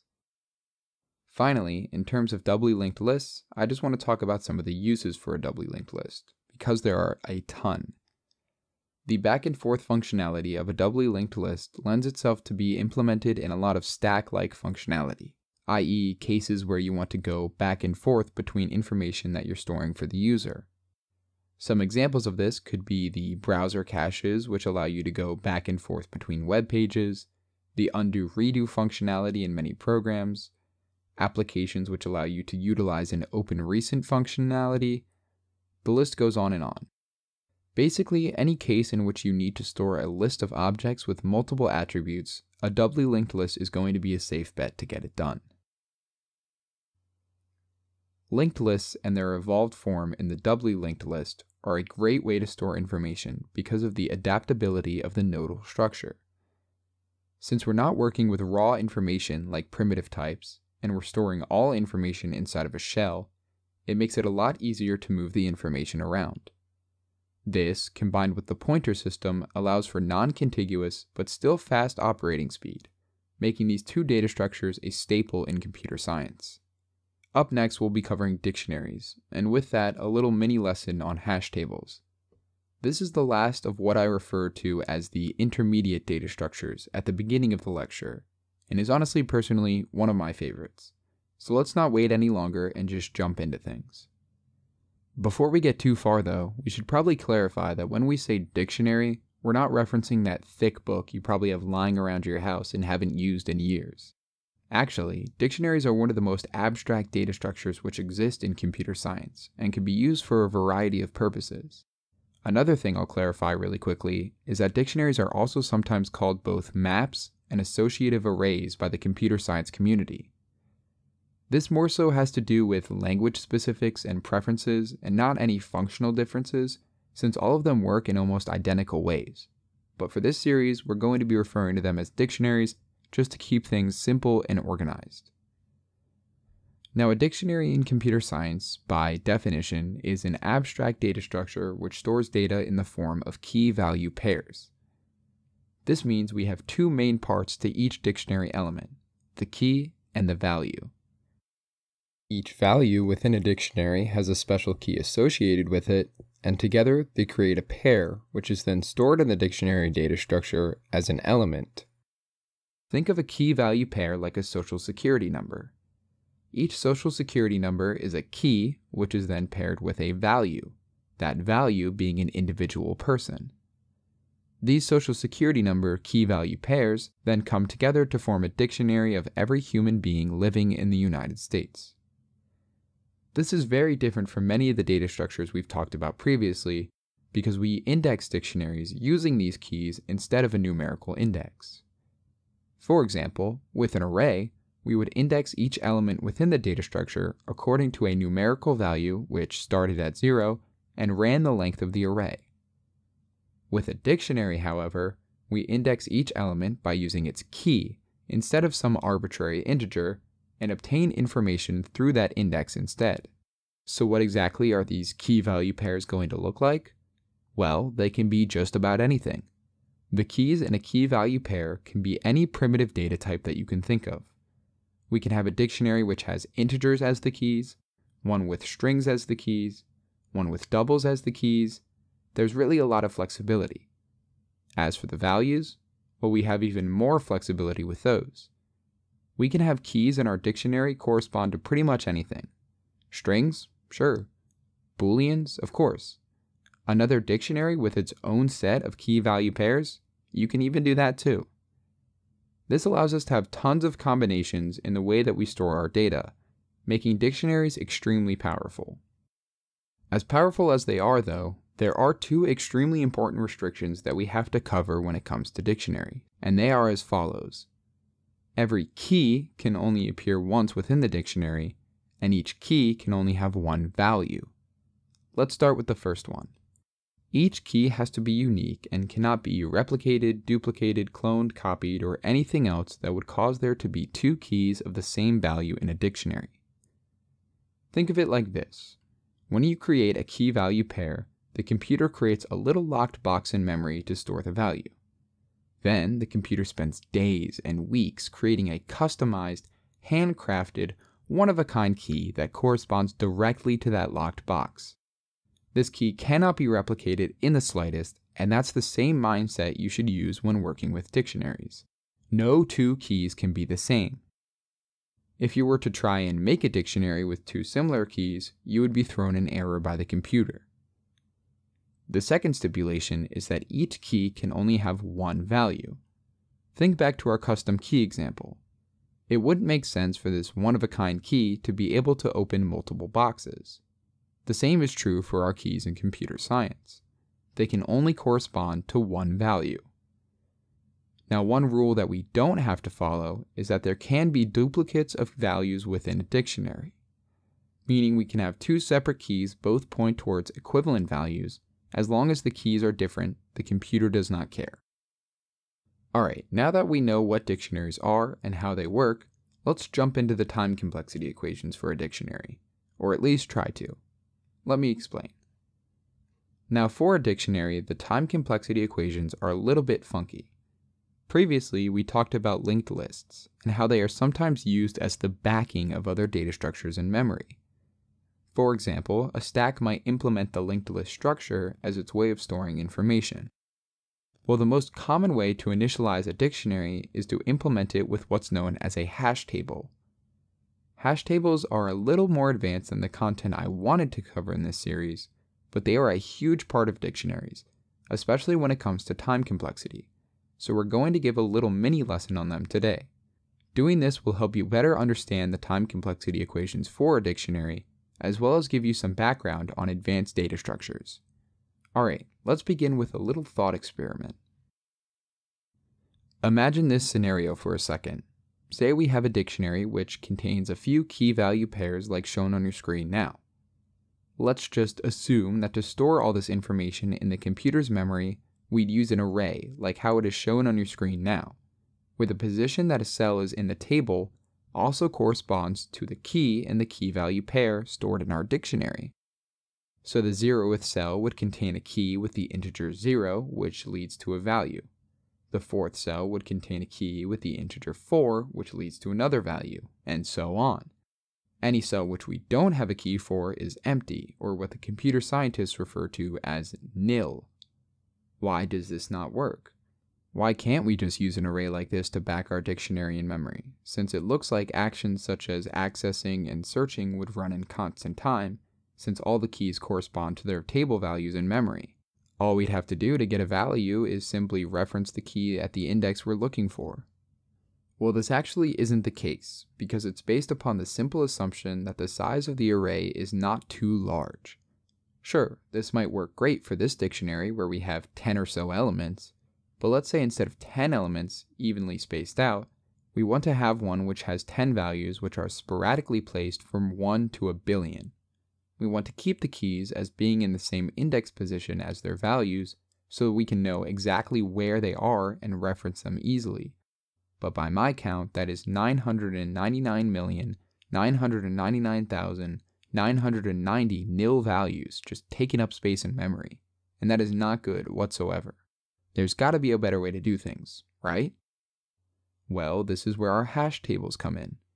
Hash tables are fundamentally a way to store this information in such a way that we're able to cut down the amount of nil values while also allowing for the information to be stored in such a way that it is easily accessible. Basically, by using a hash table, we'd be able to store these 10 keys in our dictionary, which range from 1 to a billion, in a table with only 10 elements, while also being able to keep constant time. How is this possible? Well, through the use of a trick programmers use known as hash functions. A hash function will take all the keys for a given dictionary and strategically map them to certain index locations in an array so that they can eventually be retrieved easily. Essentially, by giving a hash function both a key and a table, it can determine what index location to store that key at for easy retrieval later. These hash functions can be pretty much anything, which takes in a value and returns an index location. The goal of a good hashing function is to take in a key, whatever that may be, and reliably place it somewhere in the table so that it can be accessed later by the computer. So, with that being said, let's just jump into an example, because I know a lot of you might be confused. Let's say we have our dictionary, which contains keys in the form of integers from 1 to a million by a factor of 10. So the keys are 1, 10, 100, 1000, 10,000, 100,000, and so on. A good hash function for this dataset would be to take the key, divide it by itself, and then multiply the result by the number of digits in the key minus 1. So, to find out where to store the value corresponding to the 1 million key, we would take a million, divide it by itself, which yields 1, and then multiply that by the number of digits in that integer minus 1. In this case, 7 minus 1, or 6. This means we'd store the 1 million key at index location 6.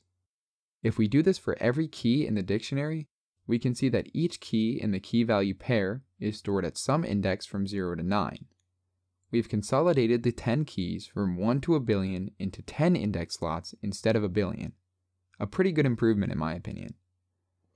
You might think this is a little overcomplicated for storing 10 elements, but remember, sometimes we might be working with thousands of keys at a time, ranging in the billions, or even strings as keys, which is a whole other story.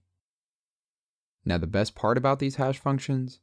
Let's say that we now want to get the value which is paired with the 1 million key. All we need to do is put 1 million back into our hash function, and it'll tell us where the value tied to that key is stored at within the table, in this case at the sixth index. Doing this allows us to pretty much instantaneously find where any key value pair is stored at within the table. All of this information may be pretty confusing, if you still aren't 100%, I would recommend watching this part over again. However, in layman's terms, and for this series, all I want you to be able to comprehend is that dictionaries are built upon these hash tables, and the keys in our key value pairs are stored in these hash tables at indexes which are determined by hash functions. And if you can understand that, you've got a pretty good base for understanding hash tables. Now, the final thing I want to talk to you guys about in regards to hash tables and the reason dictionary time complexity equations are so funky has to do with one small problem. What happens when we run two different dictionary keys into a hash function and the computer tells us to store them at the same index location? For example, let's say we have two dictionary keys with the strings Steven and Sean. And when we run both of them through our hash function, the computer instructs us to store both of them at the ninth index location. This should be impossible. How are we supposed to put both of them at index location 9?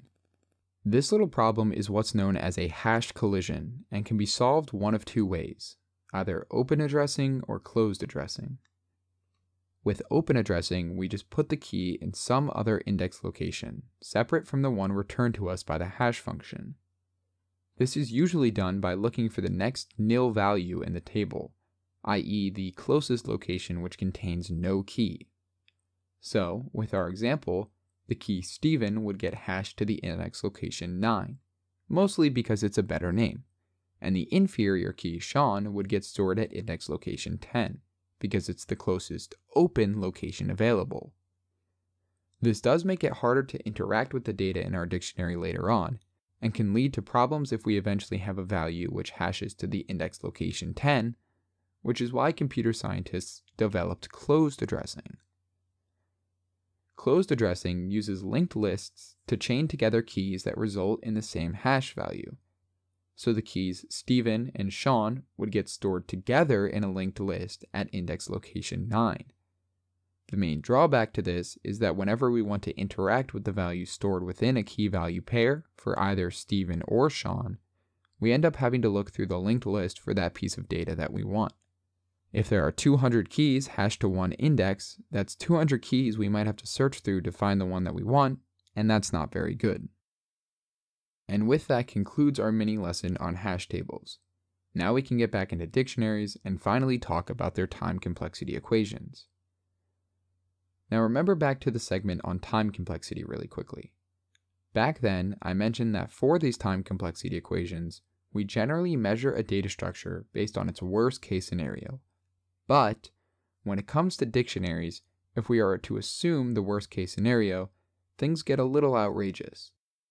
We basically end up assuming that our hash function makes it so that every key value pair ends up in the same index meaning that each of our keys gets stored in a linked list, assuming that closed addressing is being used. Then, worst case scenario, we have to assume that every operation functions how it would for accessing, searching for, inserting, or deleting from a linked list, which, if you remember, is O of n for all four. This is, of course, preposterous and would probably never happen with the bare minimum decent hash function, which is why, in addition to the worst case scenario time complexity equations, I'll also go over the average time complexity equations for these four operations. Now, lucky for us, they're all going to be O of 1. This has to do with these hash functions we talked about before. To access, search for, insert, or delete a key value pair from our dictionary, all we need to do is run that key through our hash function, and it'll tell us what index in the hash table to go to in order to perform that operation. There's no time wasted looking through preset indexes because we, the programmer, generate the indexes ourselves, and that's the power of the hash table in the flesh. Overall, dictionaries are a very useful data structure when it comes to computer science for a few reasons. They differ from the rest in quite a few big ways. The fact that they don't use a numerical index to retrieve values, rather a preset key, the notion that those keys and the key value pairs can be a range of types from strings to integers to chars and so on, the implementation of the hash table, which allows for super quick utilization that is sure to come in handy in any program that you write. In conclusion, and overall, the dictionary is just a solid data structure that can be used to fill in the gaps in your data structure's knowledge. And with that, we have now completed all of the intermediate data structures, if you will. Next, we'll be moving on to trees and tree based data structures. This is the point in the series where we will be dropping our discussion on time complexity equations. Because if you thought that the dictionary time complexity equations were complicated with hash tables and hash functions, Trees and their many variants only further complicate things, to the point where I no longer feel comfortable including them in an introductory course. We might mention that certain tree based data structures are good for accessing or searching, but as for discussions on all four time complexity equations, dictionaries are where we leave things. With that being said, let's move on to the final few data structures as we round out this Introduction to Data Structures series. Next up on our list of data structures is the tree. No, not those big green things that inhabit the outside world and that you can climb on and get fruit from. Rather, the computer science data structure, which is way more fun in my opinion. Now, before getting into trees, we need to talk about data structures in general. Every data structure we've covered up until this point has been stored linearly. Arrays, stacks, linked lists, all of these had a definitive start and end to their data, and you could point them out easily. Even the dictionary could be laid out in such a way to be represented linearly. Everything was so nice and neat and easy to visualize. On the other hand, trees store data hierarchically as opposed to linearly. What does that even mean? Well, besides being an extremely hard word to pronounce, it's an alternative way to store data that we're going to be using for the remainder of this series. It's a little hard to visualize, so I'm going to start with an example. The most common real world example of hierarchical data would be a family tree. Each person would be an element of the family tree, and connections wouldn't be based on a simple linear fashion. Rather, connections would be more abstract and could lead to multiple paths or branches instead of just a single data point. Each generation is ordered on a hierarchy, which is where the name comes from, and as you can see, there's no definitive end to the family tree. Sure, there are the ones at the bottom, which you could argue are the ends of the family tree, but which one of them is the definitive end? There is none. Another example could be a file structure system on your computer. You'd have a base folder, such as your desktop, and then inside of that, you might have multiple other folders for different types of information. And then inside of those, you might have more folders representing more types of information. And then, finally, you would have your documents. Again, it sets up a network of those files on different levels, just like how we had with the family tree. Trees, and the tree's many variants, are all dependent on storing data hierarchically, which of course finally begs the question of what exactly a tree is. Well, a tree is an abstract data structure which consists of a series of linked nodes connected together to form a hierarchical representation of data. The actual information or data is stored in these nodes, and the collection of nodes along with the connections between them is what's known as the tree. This is sort of like a linked list, only instead of each node only pointing to one location, it has the option of pointing towards multiple, and also branching off on its own or pointing to no other nodes. Each of the nodes in a tree can also be called vertices, and the connections between vertices, what link two nodes together, are called edges. Now, the free flowing structure of a tree lends itself to a lot of different configurations, and with that comes a plethora of terminology about certain nodes, vertices, and just the structure of a tree in general. So, what we're now going to do is go over a lot of the terms associated with specific nodes based on where they are in the tree and how they're connected to other nodes, while also visualizing the general structure of a tree at the same time. Okay, let's start. Let's begin with the things we've already talked about. A vertice is a certain node in a tree, and an edge is a connection between nodes. The first new thing is that every tree starts with what's known as a root node. This is always going to be the topmost node of a tree. Let's add a node with the integer 50 to serve as our root node. Next up, let's connect two vertices to our root node using two edges. These two nodes we just added are what's known as child nodes, since they are both connected to the node containing the integer 50. Child nodes can thus be defined as a certain node which has an edge connecting it to another node one level above itself. Vice versa, the root node, the vertice containing the integer 50, is now what's called a parent node to these two child nodes. Thus, we can define a parent node as any node which has one or more child nodes. Think back to our family tree. If we were using people instead of integers, it'd make perfect sense that the nodes directly connected to each other have some sort of familial relationship. Let's continue on by adding two child nodes to the node containing the integer 20. When we do this, the 30 node becomes a parent node, and the two nodes we've just added become child nodes. We have now branched off from the 20 node completely, and that the two child nodes, containing the integers 10 and 15 respectively, share no direct association with it. Speaking of the 20 node, since it does not have any children, it is what's known as a leaf node, or a node in a tree which doesn't have any child nodes. In this context, the 10 and 15 nodes would also be leaf nodes. Finally, let's add one more node as a child of the 10 node, and there is our tree in all its glory. As a quick review, the 50 node is the root node, the 30 and 20 nodes are children of that root node, and the root node is thus the parent of the 30 and 20 node. Then, the 10 and 15 nodes are children of the 30 node, and the 30 node is thus a parent node to both the 10 and 15 nodes. The 5 node is a child of the 10 node, and the 10 node is a parent to the 5 node, and finally, the 5, 15, and 20 nodes are all leaf nodes because they do not have any children. As you can see, one node, or vertice on our tree, can have many different titles depending on where it is in the tree and what other nodes are connected to it. For example, the 30 node is both a parent node to the 10 and 15 nodes, but also a child of the 50 node. The 15 node is both a child of the 30 node and also a leaf node as it has no children. This terminology really comes in handy when we start talking about trees which contain thousands of vertices and edges, and the data becomes very complicated to order and maintain. Moving on, the next two pieces of terminology I want to go over with you guys are the height and depth of a tree. The height is a property of a particular tree in and of itself, and the depth is a property of each individual node contained within a tree. Let's start with the height. The height of a tree is the number of edges on the longest possible path down towards a leaf.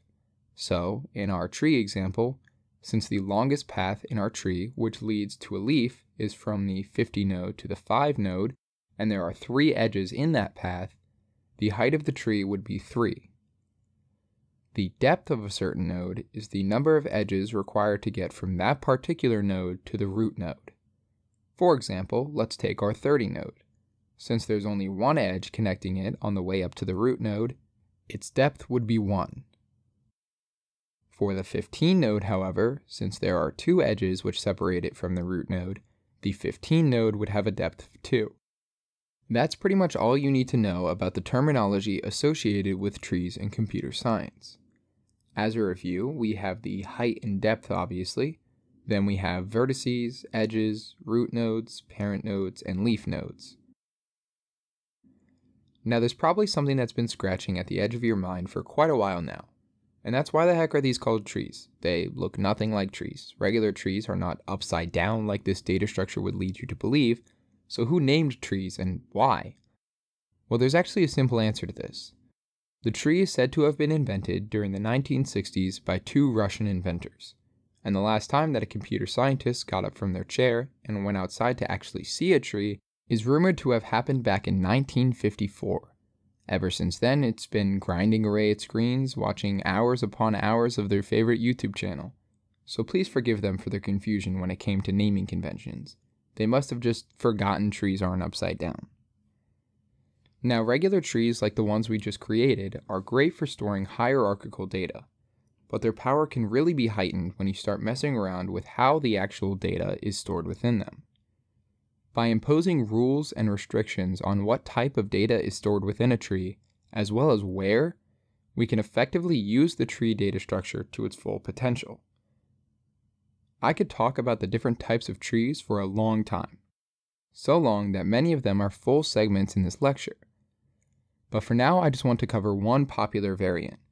This will be a good introduction to how trees can vary without simply diving into a huge deviation from what we already know. More specifically, the tree variant I want to talk to you guys about is the binary search tree. A binary search tree is a simple variation on the standard tree, which has three restrictions put on it to help organize the data. The first is that a node can have at most two children. This just helps make it easier to search throughout the tree as we don't have to spend time looking through each of the eight children for a particular node. Keeping it limited to two helps us do this. The second restriction, or property, is that for any given parent node, the child to the left has a value less than or equal to itself, and the child to the right has a value greater than or equal to itself.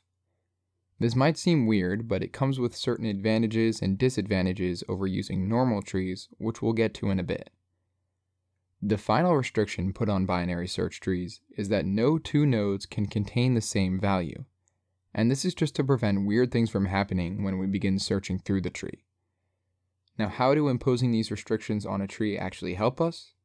Well, the biggest advantage of binary search trees is that we're able to search through them in logarithmic time.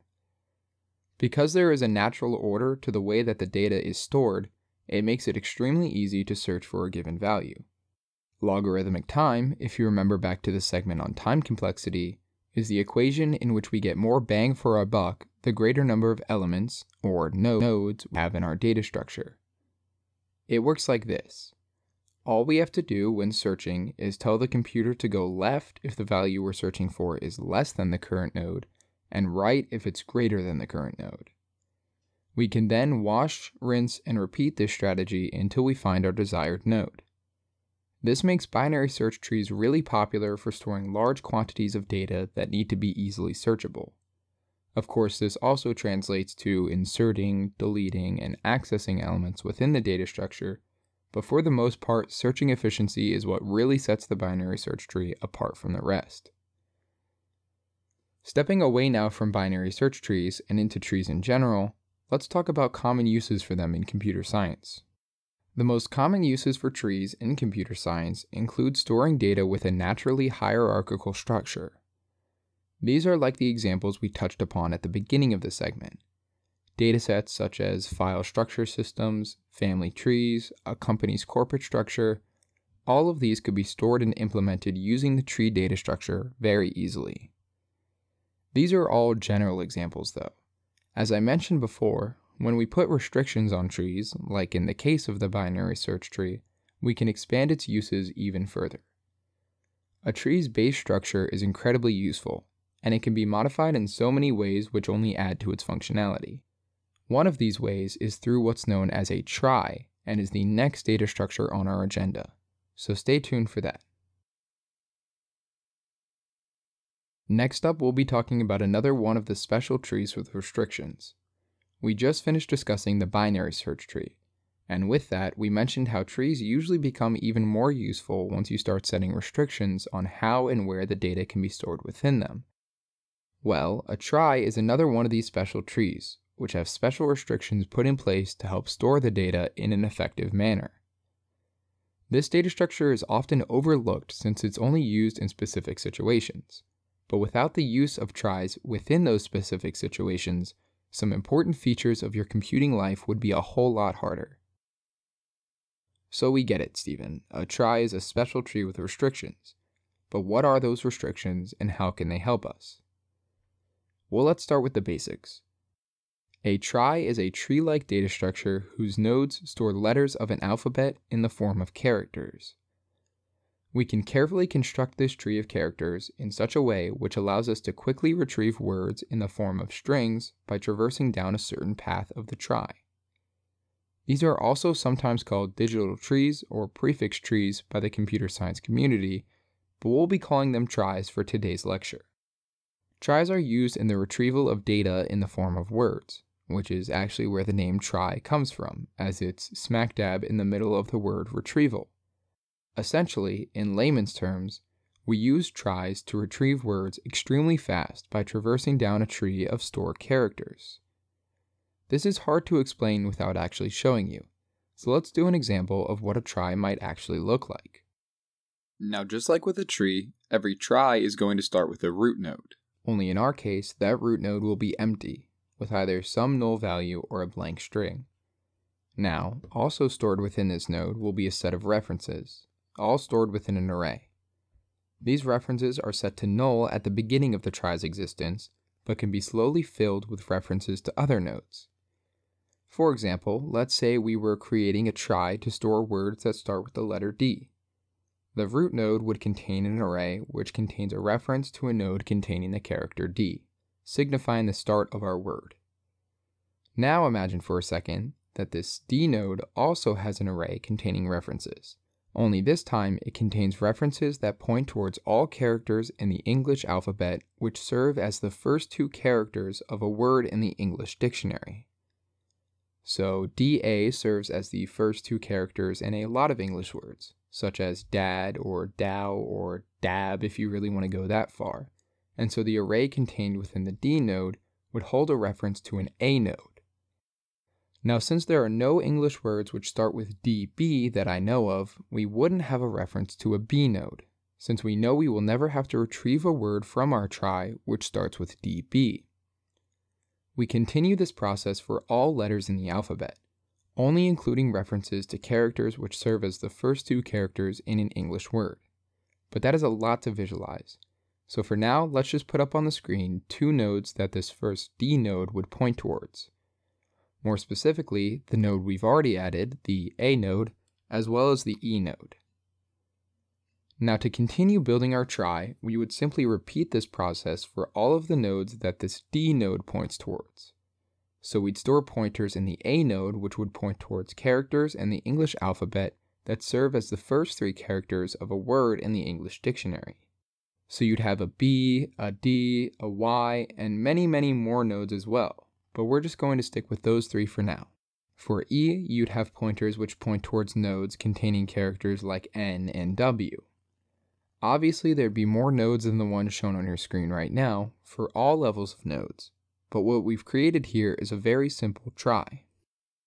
As you can see, it's exactly like I said it was in the beginning, a tree-like data structure which stores characters that can be used to make words by traversing down paths. As we travel down different paths of our tree, we can make different words. Dab, dad, day down the one path, and den and do down the other.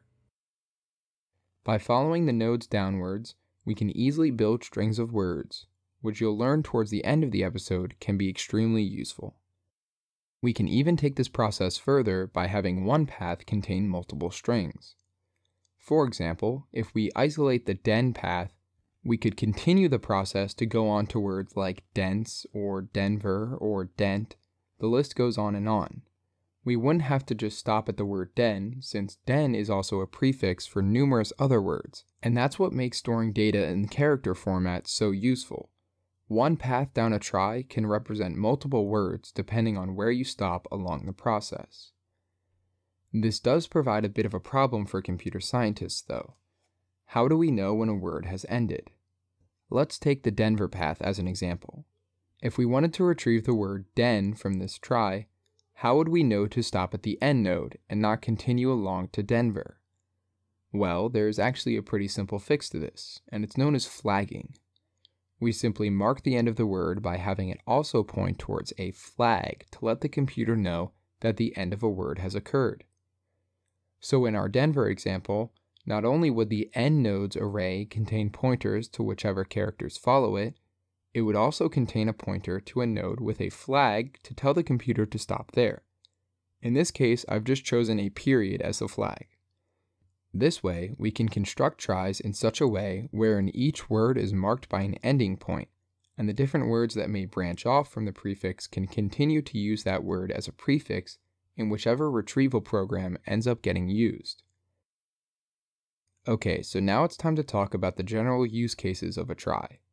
If you remember back to the beginning of this segment, I said that the use cases for a trie were limited but extremely effective, and now we're going to talk about what that statement means. Now, have you ever used the autocomplete feature on your iPhone or spell check on a Google Doc? Because if so, you have already experienced the overwhelming power of tries, as they are used for both of these extremely useful features. This mainly has to do with the fact that for big programs like iOS or Google Docs, they're not just storing a trie containing a few words or even all the words starting with a certain letter like we tried to replicate. They're storing the entire English dictionary. Storing the entire dictionary in a trie seems like a tall task, but it can and has been done. Each node would simply have 26 nodes connected to it, and those 26 would have as many nodes connected to them as needed, and so on and so on. Now I can hear you asking in the comments, how does this help us with autocomplete and spell check? Well, let's say you're typing out a word. For the sake of this video, let's say it's the word subscribe. You start with the S. At this point, the computer has already eliminated 95% of words that you could be typing. We know it's not going to be a word which starts with N, or with A, or O, or H, or L, etc., etc.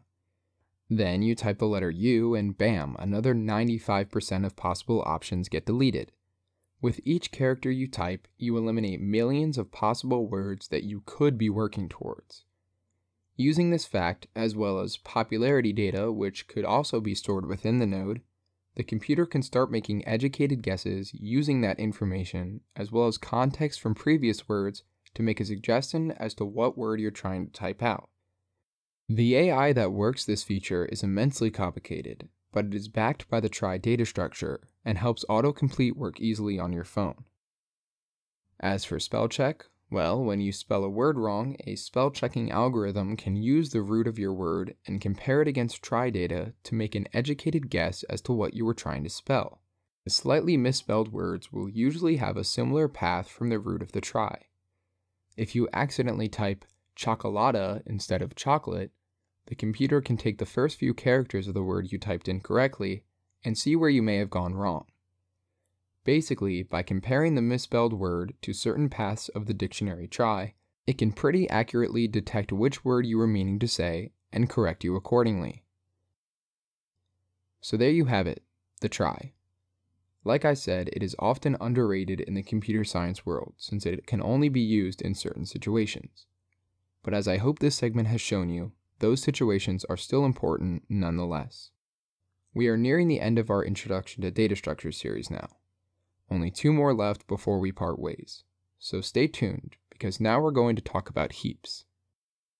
Now, back in our segment on trees, we talked about the binary search tree, a special type of tree which has a few properties. Each node can only have two children, the child to the left must have a value less than the parent node, and the child to the right must have a value greater than the parent node. And also, no two nodes could contain the same value. Well, a heap is sort of like this, but a little bit different. More specifically, by definition, a heap is a special tree where all parent nodes compare to their children nodes in some specific way, by being either more extreme or less extreme, i.e., greater than or less than. This specific way determines where the data is stored and is usually dependent on the root node's value. There are two different methodologies generally used in computer science and they are known as min heaps and max heaps. In a min heap, the value at the root node of the tree must be the minimum amongst all of its children, and this fact must be recursively the same for any and all parent nodes contained within the heap. So each parent node must have a value lower than all of its children nodes. As you can see from our example on the screen now, 10 is the root node and also the minimum value in the tree. In addition to this fact, if we pick any parent node on the tree and look at its children and their children and so on, the parent node will have the lowest value of them all. Take 14 for example. Its value is less than 26, 31, 44, 35, and 33. This must be the case for every single subtree which is contained within the heap. Max heaps, on the other hand, are the exact opposite. In a max heap, the value at the root node of the tree must be the maximum amongst all of its children, and this fact must be recursively the same for any and all parent nodes contained within the heap. If you take a look at the example max heap we have on the screen now, again you'll see that this is the case. 44 is the root node and also the largest value within the heap. If you take a look at, say, the subtree which is parented by the 35 node, you'll see that 35 is the maximum value amongst all nodes in that subtree, greater than both 19 and 27. When we store data like this in a heap, whether that be a min heap or a max heap, it makes it extremely easy to insert or remove from. This lends itself to a lot of useful implementations within computer science. Now to show you this, I'd like to build an example max heap, the one which has the greatest integer stored in the root node. For the sake of keeping things simple, let's pull up an array of 7 elements with integers ranging from 0 to 100, and simply convert it into a heap one element by one. This can be done in a few easy steps. Step 1 is we add the first integer in as the root node, so 70 would get inserted into our tree as the root node. Then we add another node to the tree in the bottom leftmost position available. So we would first insert a node as the child of the root node to the left. For our heap, this means adding the integer 4 as a child of the 70 node. The final step is to recursively go up the heap and swap nodes if necessary. Now when we say if necessary, we mean that if the node we just added is more extreme, either greater than or less than the node above it, depending on the type of heap that we're trying to create, we swap them to maintain order amongst the heap. Since we're building a max heap and 70 is greater than 4, no swaps are necessary in this case. Now we just simply repeat steps 2 and 3 until we've built our heap. So next, we want to add the integer 90, and since the leftmost slot on the tree is already taken by our 4 node, the right slot ends up being the leftmost location on our tree. So we insert it there, and then, since 90 is greater than 70, we actually end up swapping the 90 and 70 nodes. Doing this helps keep the max heap property intact, where every level is greater than the one below it. Let's keep going. Next, we add 45 to the heap. Now, since we've run out of space on the second level, we move on to a third level and add 45 as a child of the 4 node. Then we compare it to 4, which it is greater than, so we swap the nodes. Now we have to compare this node to the node above it again, because remember, we recursively go up the tree until we reach the root, or don't need to swap. Now 45 is not greater than 90, so it stays put where it's at. Next up, we add 23 as another child of the 45 node, only this time on the right side. We compare, and since it's not greater than 45, we keep it as is. Moving on, we next insert 76 into the tree as a child of the 70 node. Then we compare and swap the 76 and 70 nodes as 76 is indeed greater than 70. We then compare 76 and 90, and since 90 is greater than 76, keep the 76 node in place for now. The next node we add is the 100 node. We compare it to the 76 node and see that it's greater, so it gets swapped. And then we compare it again, this time to the 90 node. And since it's also greater than that integer, it gets swapped yet again to become the root node, signifying it is the greatest node in the heap. As you can see, it's a pretty simple concept, You add a node and then keep trying to swap up until the node you've added is in its rightful place. Deleting from a heap is also pretty simple, at least in our case. This is because the type of deletion I want to talk about is just the process of removing the root node from the heap, and you'll see why later on. To delete the root node from a heap, you follow a three step process. Step 1 is actually removing the root node from our heap, so in our case, we delete the 100 node. What you do with it is up to the programmer. You can return it back to the user, store it somewhere else, print it out, etc., etc. Either way, then step 2 is replacing it with the node furthest to the right. In this case, it would be the 76 node. Finally, for step 3, we do what's known as a heapify to fix up the heap. We start with the root node and compare it to its children to see if we need to swap any values. So for the 76 node, we compare it to its two child nodes, and since 76 is less than 90, we end up swapping those two. Then we wash, rinse, repeat for every subtree that we have. So on the right side, we swapped 90 with 76, but since 76 remains the greatest integer on that particular subtree, it stays in the same spot. On the left side, we didn't change anything, but 45 is still the greatest integer amongst the three nodes in that subtree, so no swapping is necessary on that branch of the heap. And so we've completed our heapify and all heap properties are still intact. That is inserting and deleting nodes in a nutshell. Now let's talk about how we can use this to our advantage. Heaps are most commonly used in the implementation of heap sort. Heap sort is a sorting algorithm which takes in a list of elements, builds them into a min or max heap, and then removes the root node continuously to make a sorted list.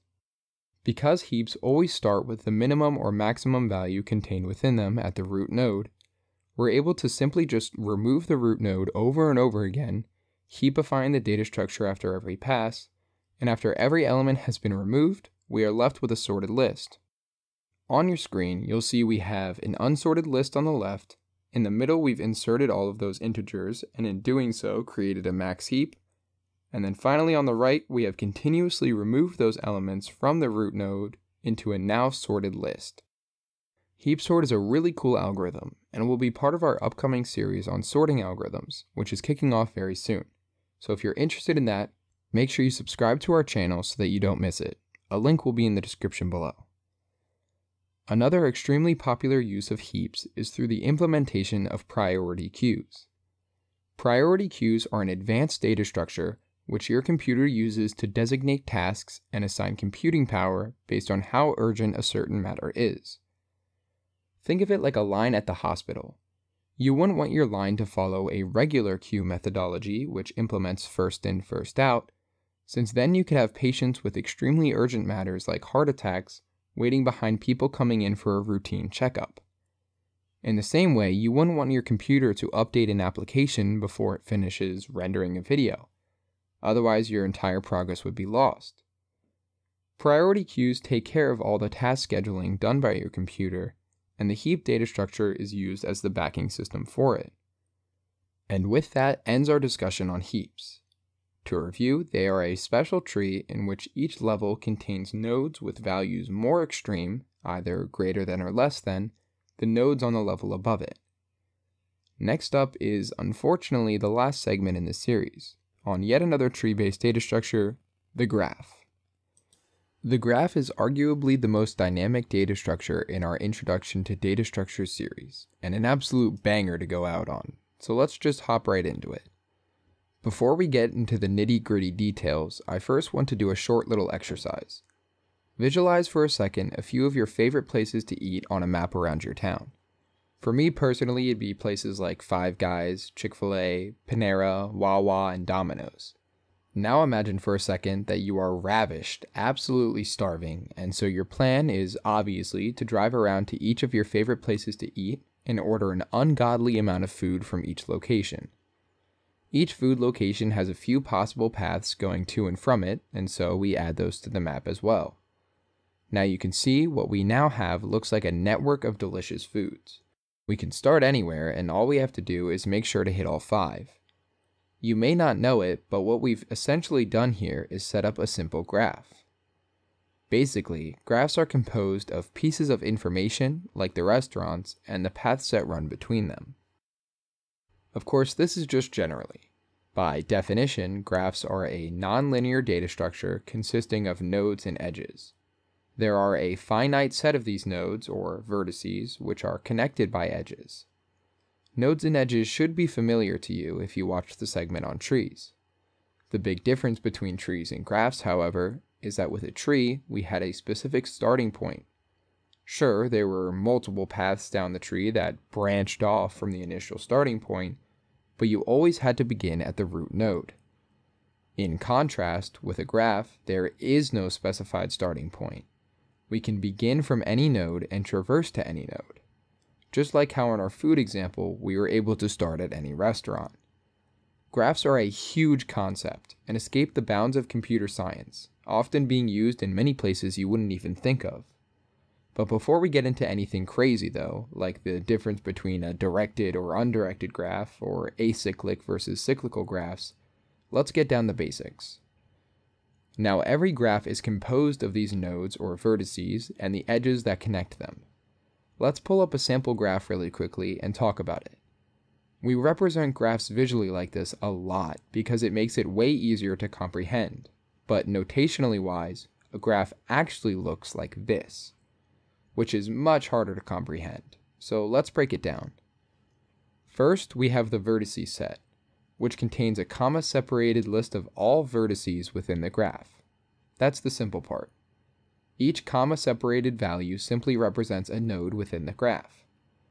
Then we have the edge set, which is a little bit more complicated. Each element of the edge set is an ordered pair which describes relationships between nodes. For example, the first one describes a relationship between the 6 and 4 nodes. The fifth indicates a relationship between the 5 and 2 nodes, and so on. Using these two sets, we're able to visualize a graph pretty easily by laying down both the information and the connections that fall between them.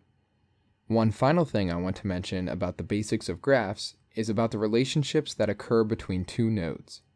If we have an edge which connects two different vertices, they are known as adjacent to one another. So, for example, the 5 node would be adjacent to the 4, 2, and 1 nodes.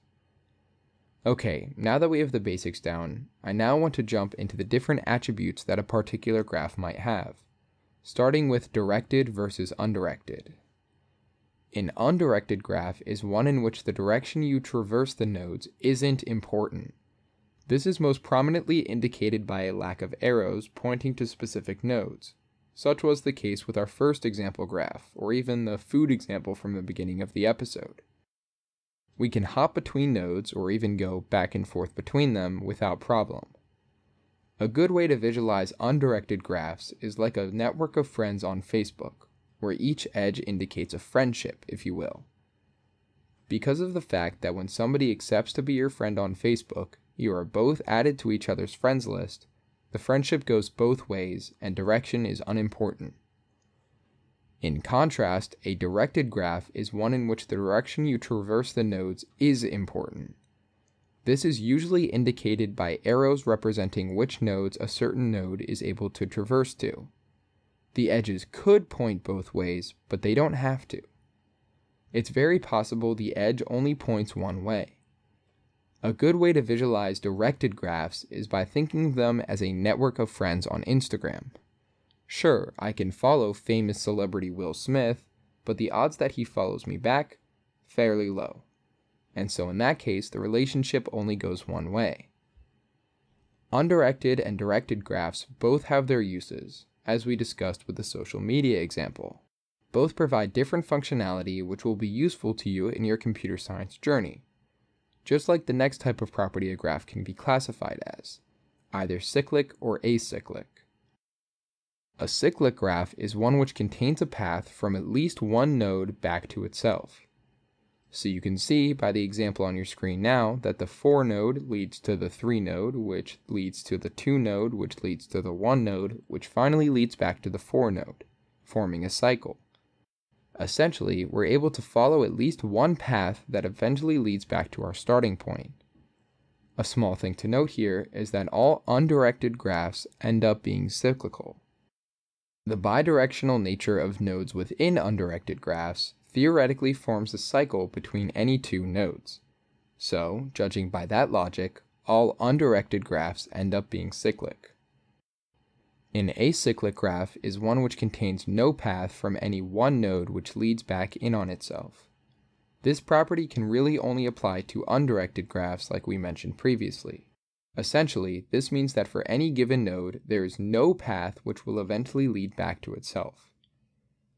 Undirected, directed, cyclic, and acyclic are all properties we can use to classify types of graphs based on their nodes. But the last property I want to talk about actually applies to the edges of a graph instead, and is the process of weighting. Weighting the edges of a graph means associating a numerical value with each edge. Often called the cost of that edge, each weight represents some property of the information you are trying to convey. For example, again going back to our food location scenario, since the information that we're trying to convey is a good route which takes us to each location, a good weight for our edges in that scenario could be the distance between nodes. This comes in handy a lot, especially with navigation, such as the case with our restaurant example, as we of course always want to find the path of least cost, or weight, between the different nodes. So there are the major properties of a heap that the different nodes and edges can have directed or undirected, cyclic or acyclic, and weighted or unweighted. There are a couple more obscure ones out there, but those six are what we will be covering today. Combining these three properties together leaves us with numerous types of graphs which all have different strengths and weaknesses. It would take a while to talk about each of these and their implementations, so for now I'll just pick out three types of graphs which are used in the most popular cases. Now, probably the most famous implementation of the graph data structure is through the undirected cyclical graph with weighted edges. This one gets a lot of use, especially through its implementation in Dijkstra's shortest path algorithm. This algorithm, given a graph and a source vertex within that graph, compiles a list of the shortest possible paths from that source vertex to all other nodes. As you might be able to tell just from its description, this has a multitude of uses across the entire tech world. Google uses this algorithm for Google Maps, it's used in the process of IP routing, and it can even be implemented in telephone networks. Another type of graph which you probably use quite often is the unweighted cyclical graphs, both undirected and directed, as these make up the follower systems of a majority of social media websites. We already talked about these in the cases of Facebook, which would use a cyclical representation, as well as Instagram, which would use an acyclical representation. However, this example encapsulates much more than just those two. Snapchat, Twitter, TikTok, even. All these platforms can represent your follower following base through a graph, and oftentimes do. Facebook even has a Graph API, which you can use to interact with the models that they use to illustrate each user's web of friends. As you can see, graphs and their many different forms provide a lot of the functionality that you interact with in everyday life, contributing to almost any facet of the internet. And with that concludes our discussion on graphs. As a review, a graph is a data structure which is represented by a set of nodes and edges. These come together to form a visualization of data. Whether that data be food locations on a map or friends on social media, the different types of graphs provide a multitude of implementations in computer science. And with that concludes our Introduction to Data Structures series. After around 3 hours and 12 data structures, you should now have the basic knowledge to take with you as you continue along your computer science journey. And if you've made it this long, you obviously liked what you saw so stick around for an extra 30 seconds while I'll pitch to you why you should check out my personal channel. Now, I introduced myself at the beginning of the series, but again, my name is Steven. I'm an 18 year old computer science student who runs a YouTube channel called NullPointer Exception with one of my good friends, Sean. We've been producing content like this seriously for about four months now and have grown a good audience of around 800 subscribers, which we couldn't be happier about. If you'd like to join us, you can check out our channel linked in the description below and just try out a few of our other videos. And if you like what you see, you can subscribe. That ends my pitch, and with that, I have nothing else to say. I hope you have enjoyed this series as much as I've enjoyed making it. Thank you so much for watching.